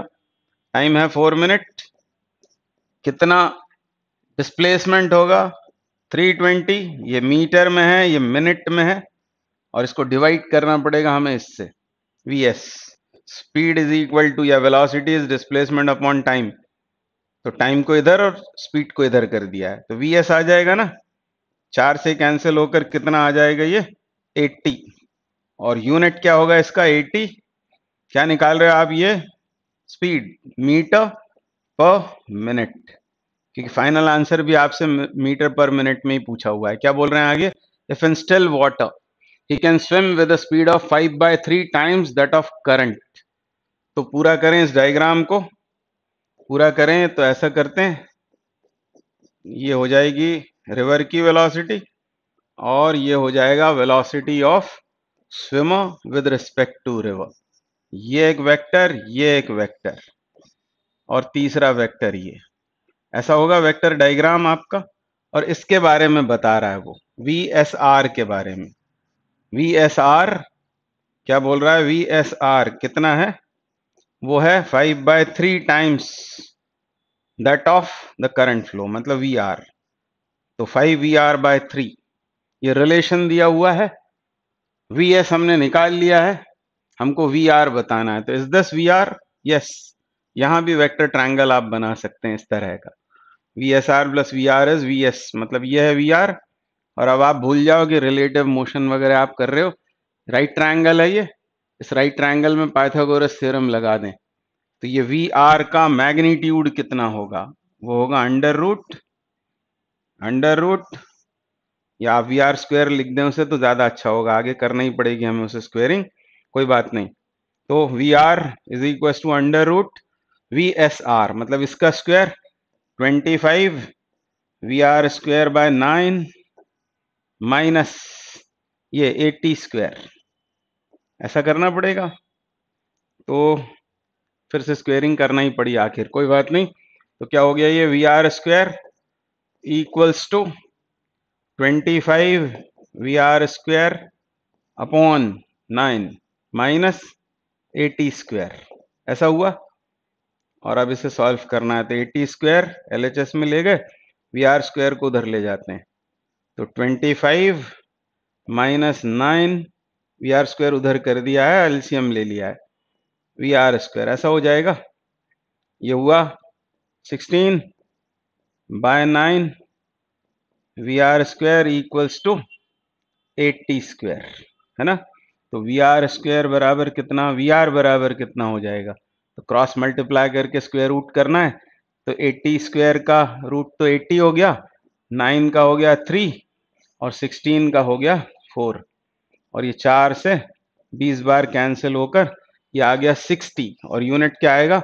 मीटर पर मिनट तो थोड़ा डिफ़िकल्ट लगता है भी डिफ़िकल्ट टॉपिक पर इसकी यदि आप बहुत प्रैक्टिस करेंगे तो एग्ज़ाम में भी जल्दी आपसे करेक्टली बन जाएगा। तो बहुत इसकी प्रैक्टिस करनी चाहिए। इसके और भी वीडियोस मैंने अपलोड कर रखे हैं यूट्यूब पर। पेन ड्राइव में भी आपके पास में होंगे। क्लास में भी हम डिस्कस करते ही हैं। थोड़ा इसी तरह का टॉपिक है। इसको कई बार रिवाइज करना चाहिए जब तक ये दिमाग में अच्छे से बैठ न जाए। अगला क्वेश्चन अब ये अपना नॉर्मल वो चालू हो गया। ये दो क्वेश्चन थे रिलेटिव मोशन के। अब क्या बोल रहे हैं? Three vectors A B and C satisfy the relation A dot B is zero A dot B zero है मतलब ए परपेंडिकुलर टू बी ठीक है? और A dot C is zero A dot C is zero इसका मतलब ए और सी भी आपस में कैसे हैं? परपेंडिकुलर यानी तीनों आपस में perpendicular A perpendicular to B also A perpendicular to C then the vector A is parallel to तो इसको पहले ड्रॉ कर लेते हैं। ये मान लो है ए अच्छे से इमेजिन कर पाए, इसलिए ये ए ये बी और ये सी तो हमको क्या बताना है? हमको बताना है कि वेक्टर ए किसके पैरेलल है? तो यदि आप बी क्रॉस सी लेंगे तो इधर आएगा। बी क्रॉस सी प्रॉपर्टी से आप जानते हैं। बी और सी जैसे ये वाई एक्सेस है और ये जेड एक्सेस है। तो बी और सी किस प्लेन में होंगे? वाई जेड प्लेन में। और इनका यदि क्रॉस प्रोडक्ट लोगे आप आर एच एस आर लगाओगे तो इधर आएगा उसका डायरेक्शन यानी ऑप्शन डी करेक्ट हो जाएगा। Option D is correct B cross C 44 next question करेंगे। क्या बोल रहे हैं? Unit vector perpendicular to vector A and B both is दो वेक्टर्स हैं ए और बी और इन दोनों से जो परपेंडिकुलर वेक्टर होगा, उसकी डायरेक्शन का हमको चाहिए यूनिट वेक्टर तो क्रॉस प्रोडक्ट ले लेते हैं ए और बी का. ए क्रॉस बी तो हमें एक ऐसा वेक्टर मिलेगा जो ए से भी और बी से भी परपेंडिकुलर होगा. तो यहाँ लिखते हैं आई जे के पहली रो में ए के आई जे और के के कोएफिशिएंट्स मतलब minus three minus two and minus three और बी टू फोर सिक्स आगे इसको सॉल्व करें तो मान लो वो है सी इनका वेक्टर प्रोडक्ट और सी ए से भी परपेंडिकुलर बी से भी परपेंडिकुलर है. और इसी की डायरेक्शन का यूनिट वेक्टर हमको चाहिए. तो आई कैप इसे छोड़ा, इसको छोड़ा. ये हुआ माइनस बारह, फिर माइनस माइनस बारह तो ये प्लस बारह हो गया. यानी आई की टर्म तो खत्म हो गई. फिर जे लेंगे, इसको छोड़ देंगे, इसे छोड़ देंगे। Minus three into two minus six ये माइनस फॉर्मूले का छेतिया अठारह प्लस अठारह, यहाँ होगा। और अब के वाला तो के इसे छोड़ दिया, इसे छोड़ दिया, ये हुआ माइनस बारह माइनस बारह, और प्लस चार हो जाएगा। तो कुल मिलाकर क्या आ गया? ये तो खत्म हो गया आई वाला, ये कितना होगा? ट्वेल्व जे ट्वेल्व जे और ये होगा माइनस आठ के। और हमको इस वेक्टर की डायरेक्शन का यूनिट वेक्टर बतलाना है मतलब सी कैप बताना है। सी कैप मतलब vector divided by its modulus. यदि हम इसे सी कह रहे हैं तो तो बस सी वेक्टर तो एज इट इज़ यहाँ आ जाएगा। 12 जे माइनस एट के। और इसके मॉड्यूलस से डिवाइड कर देना है इसको। तो क्या आएगा? अंडर रूट ट्वेल्व स्क्वायर मतलब one four four plus eight square sixty four कितना हुआ ये? एक सौ चवालीस और चौसठ।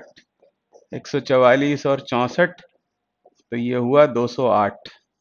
हमको चाहिए under root two hundred and eight तो फिफ्टी या थर्टीन आ रहा है है ना? तो यदि मैं इसको ऐसा लिखूं थर्टीन इंटू फोर तेरह चौक बावन होते हैं, और बावन इंटू चार करेंगे तो दो सौ आठ आ जाएगा। तो ये इसको लिख सकते हैं फोर रूट थर्टीन आंसर ने मुझे बताया कि रूट थर्टीन का कुछ तो भी चक्कर है।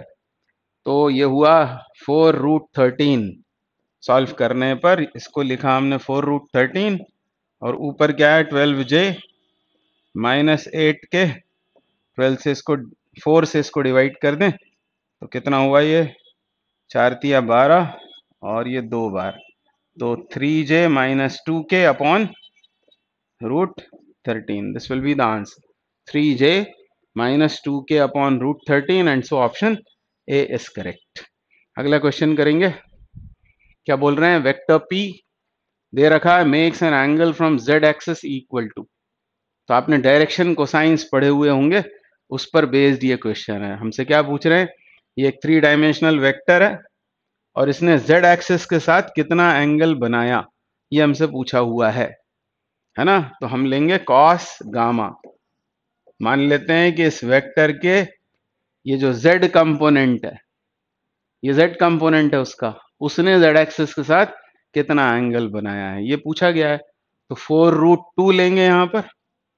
क्या करते हैं? यहाँ लेंगे हम वेक्टर यदि वो r है सपोज़ तो यहाँ लेंगे हम उसका x कंपोनेंट और इधर मॉड्यूलस ऑफ़ r से डिवाइड कर देंगे। इसको कहते हैं डायरेक्शन कोसाइन तो बस आर जेड करना है यहाँ पर। एक्स नहीं जेड तो कितना है वो? वो है फोर रूट टू और नीचे इसका मॉडुलस चाहिए।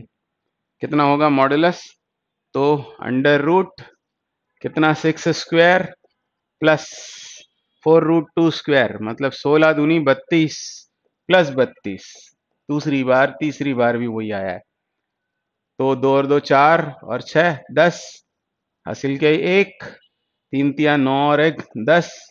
ये रूट हंड्रेड होकर ये हो गया टेन यानी यहाँ आएगा दस। Four root two by ten तो ये दो से कैंसिल करें। तो two root two two root two by five हमसे एक्चुअली गामा पूछा हुआ है। तो गामा कितना होगा?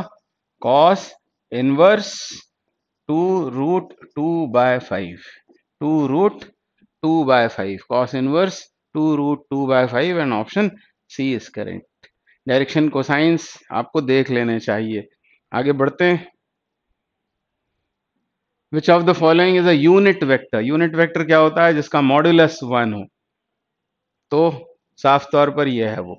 क्योंकि इसका कोएफिशिएंट है कॉस थीटा इसका है sine theta sine square theta plus cos square theta one होता है। दोनों के क्या करेंगे?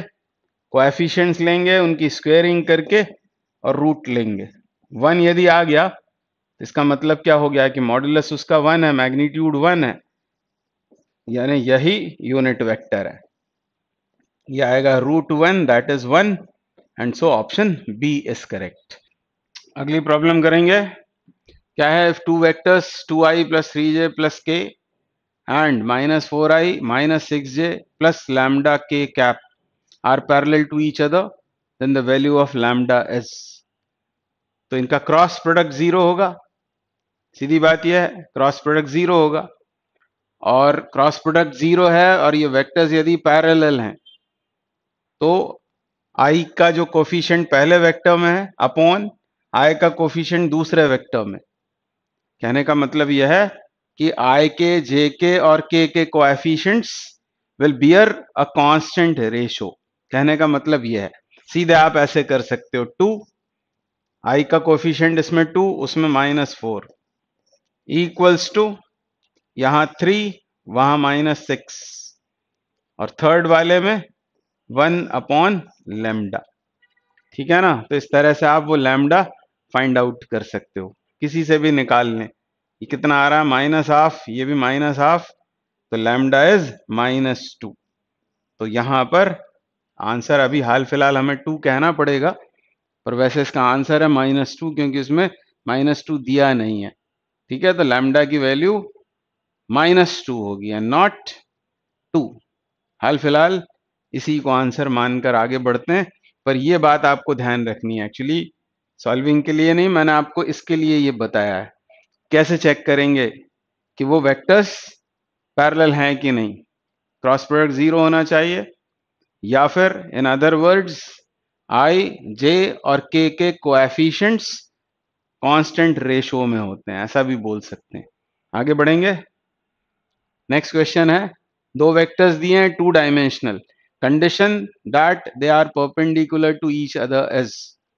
तो इसमें क्या होता है? जब आप वैसे तो डॉट प्रोडक्ट लेके उसको आप ज़ीरो कर लेते हो, क्या लिखते हो आप? A one a two plus b one b two equal zero dot product लिया है आपने। पर इस तरह से उसको बताना है तो कैसे बताओगे आप? A one a two equals to minus b one b two ऐसे लिखोगे? और फिर ए वन के नीचे लाकर रखेंगे बी वन और ए टू को उधर ले जाएँगे आर एच एस में तो माइनस बी टू अपॉन क्या हो जाएगा? A two a one a two equals to minus b one b two ऐसा भी याद, आप याद रख सकते हो, या ऐसा, या डॉट प्रोडक्ट पे जाके उसको ज़ीरो कर लेना, पर ये कंडीशन कभी कभी बड़े काम में आ जाती है।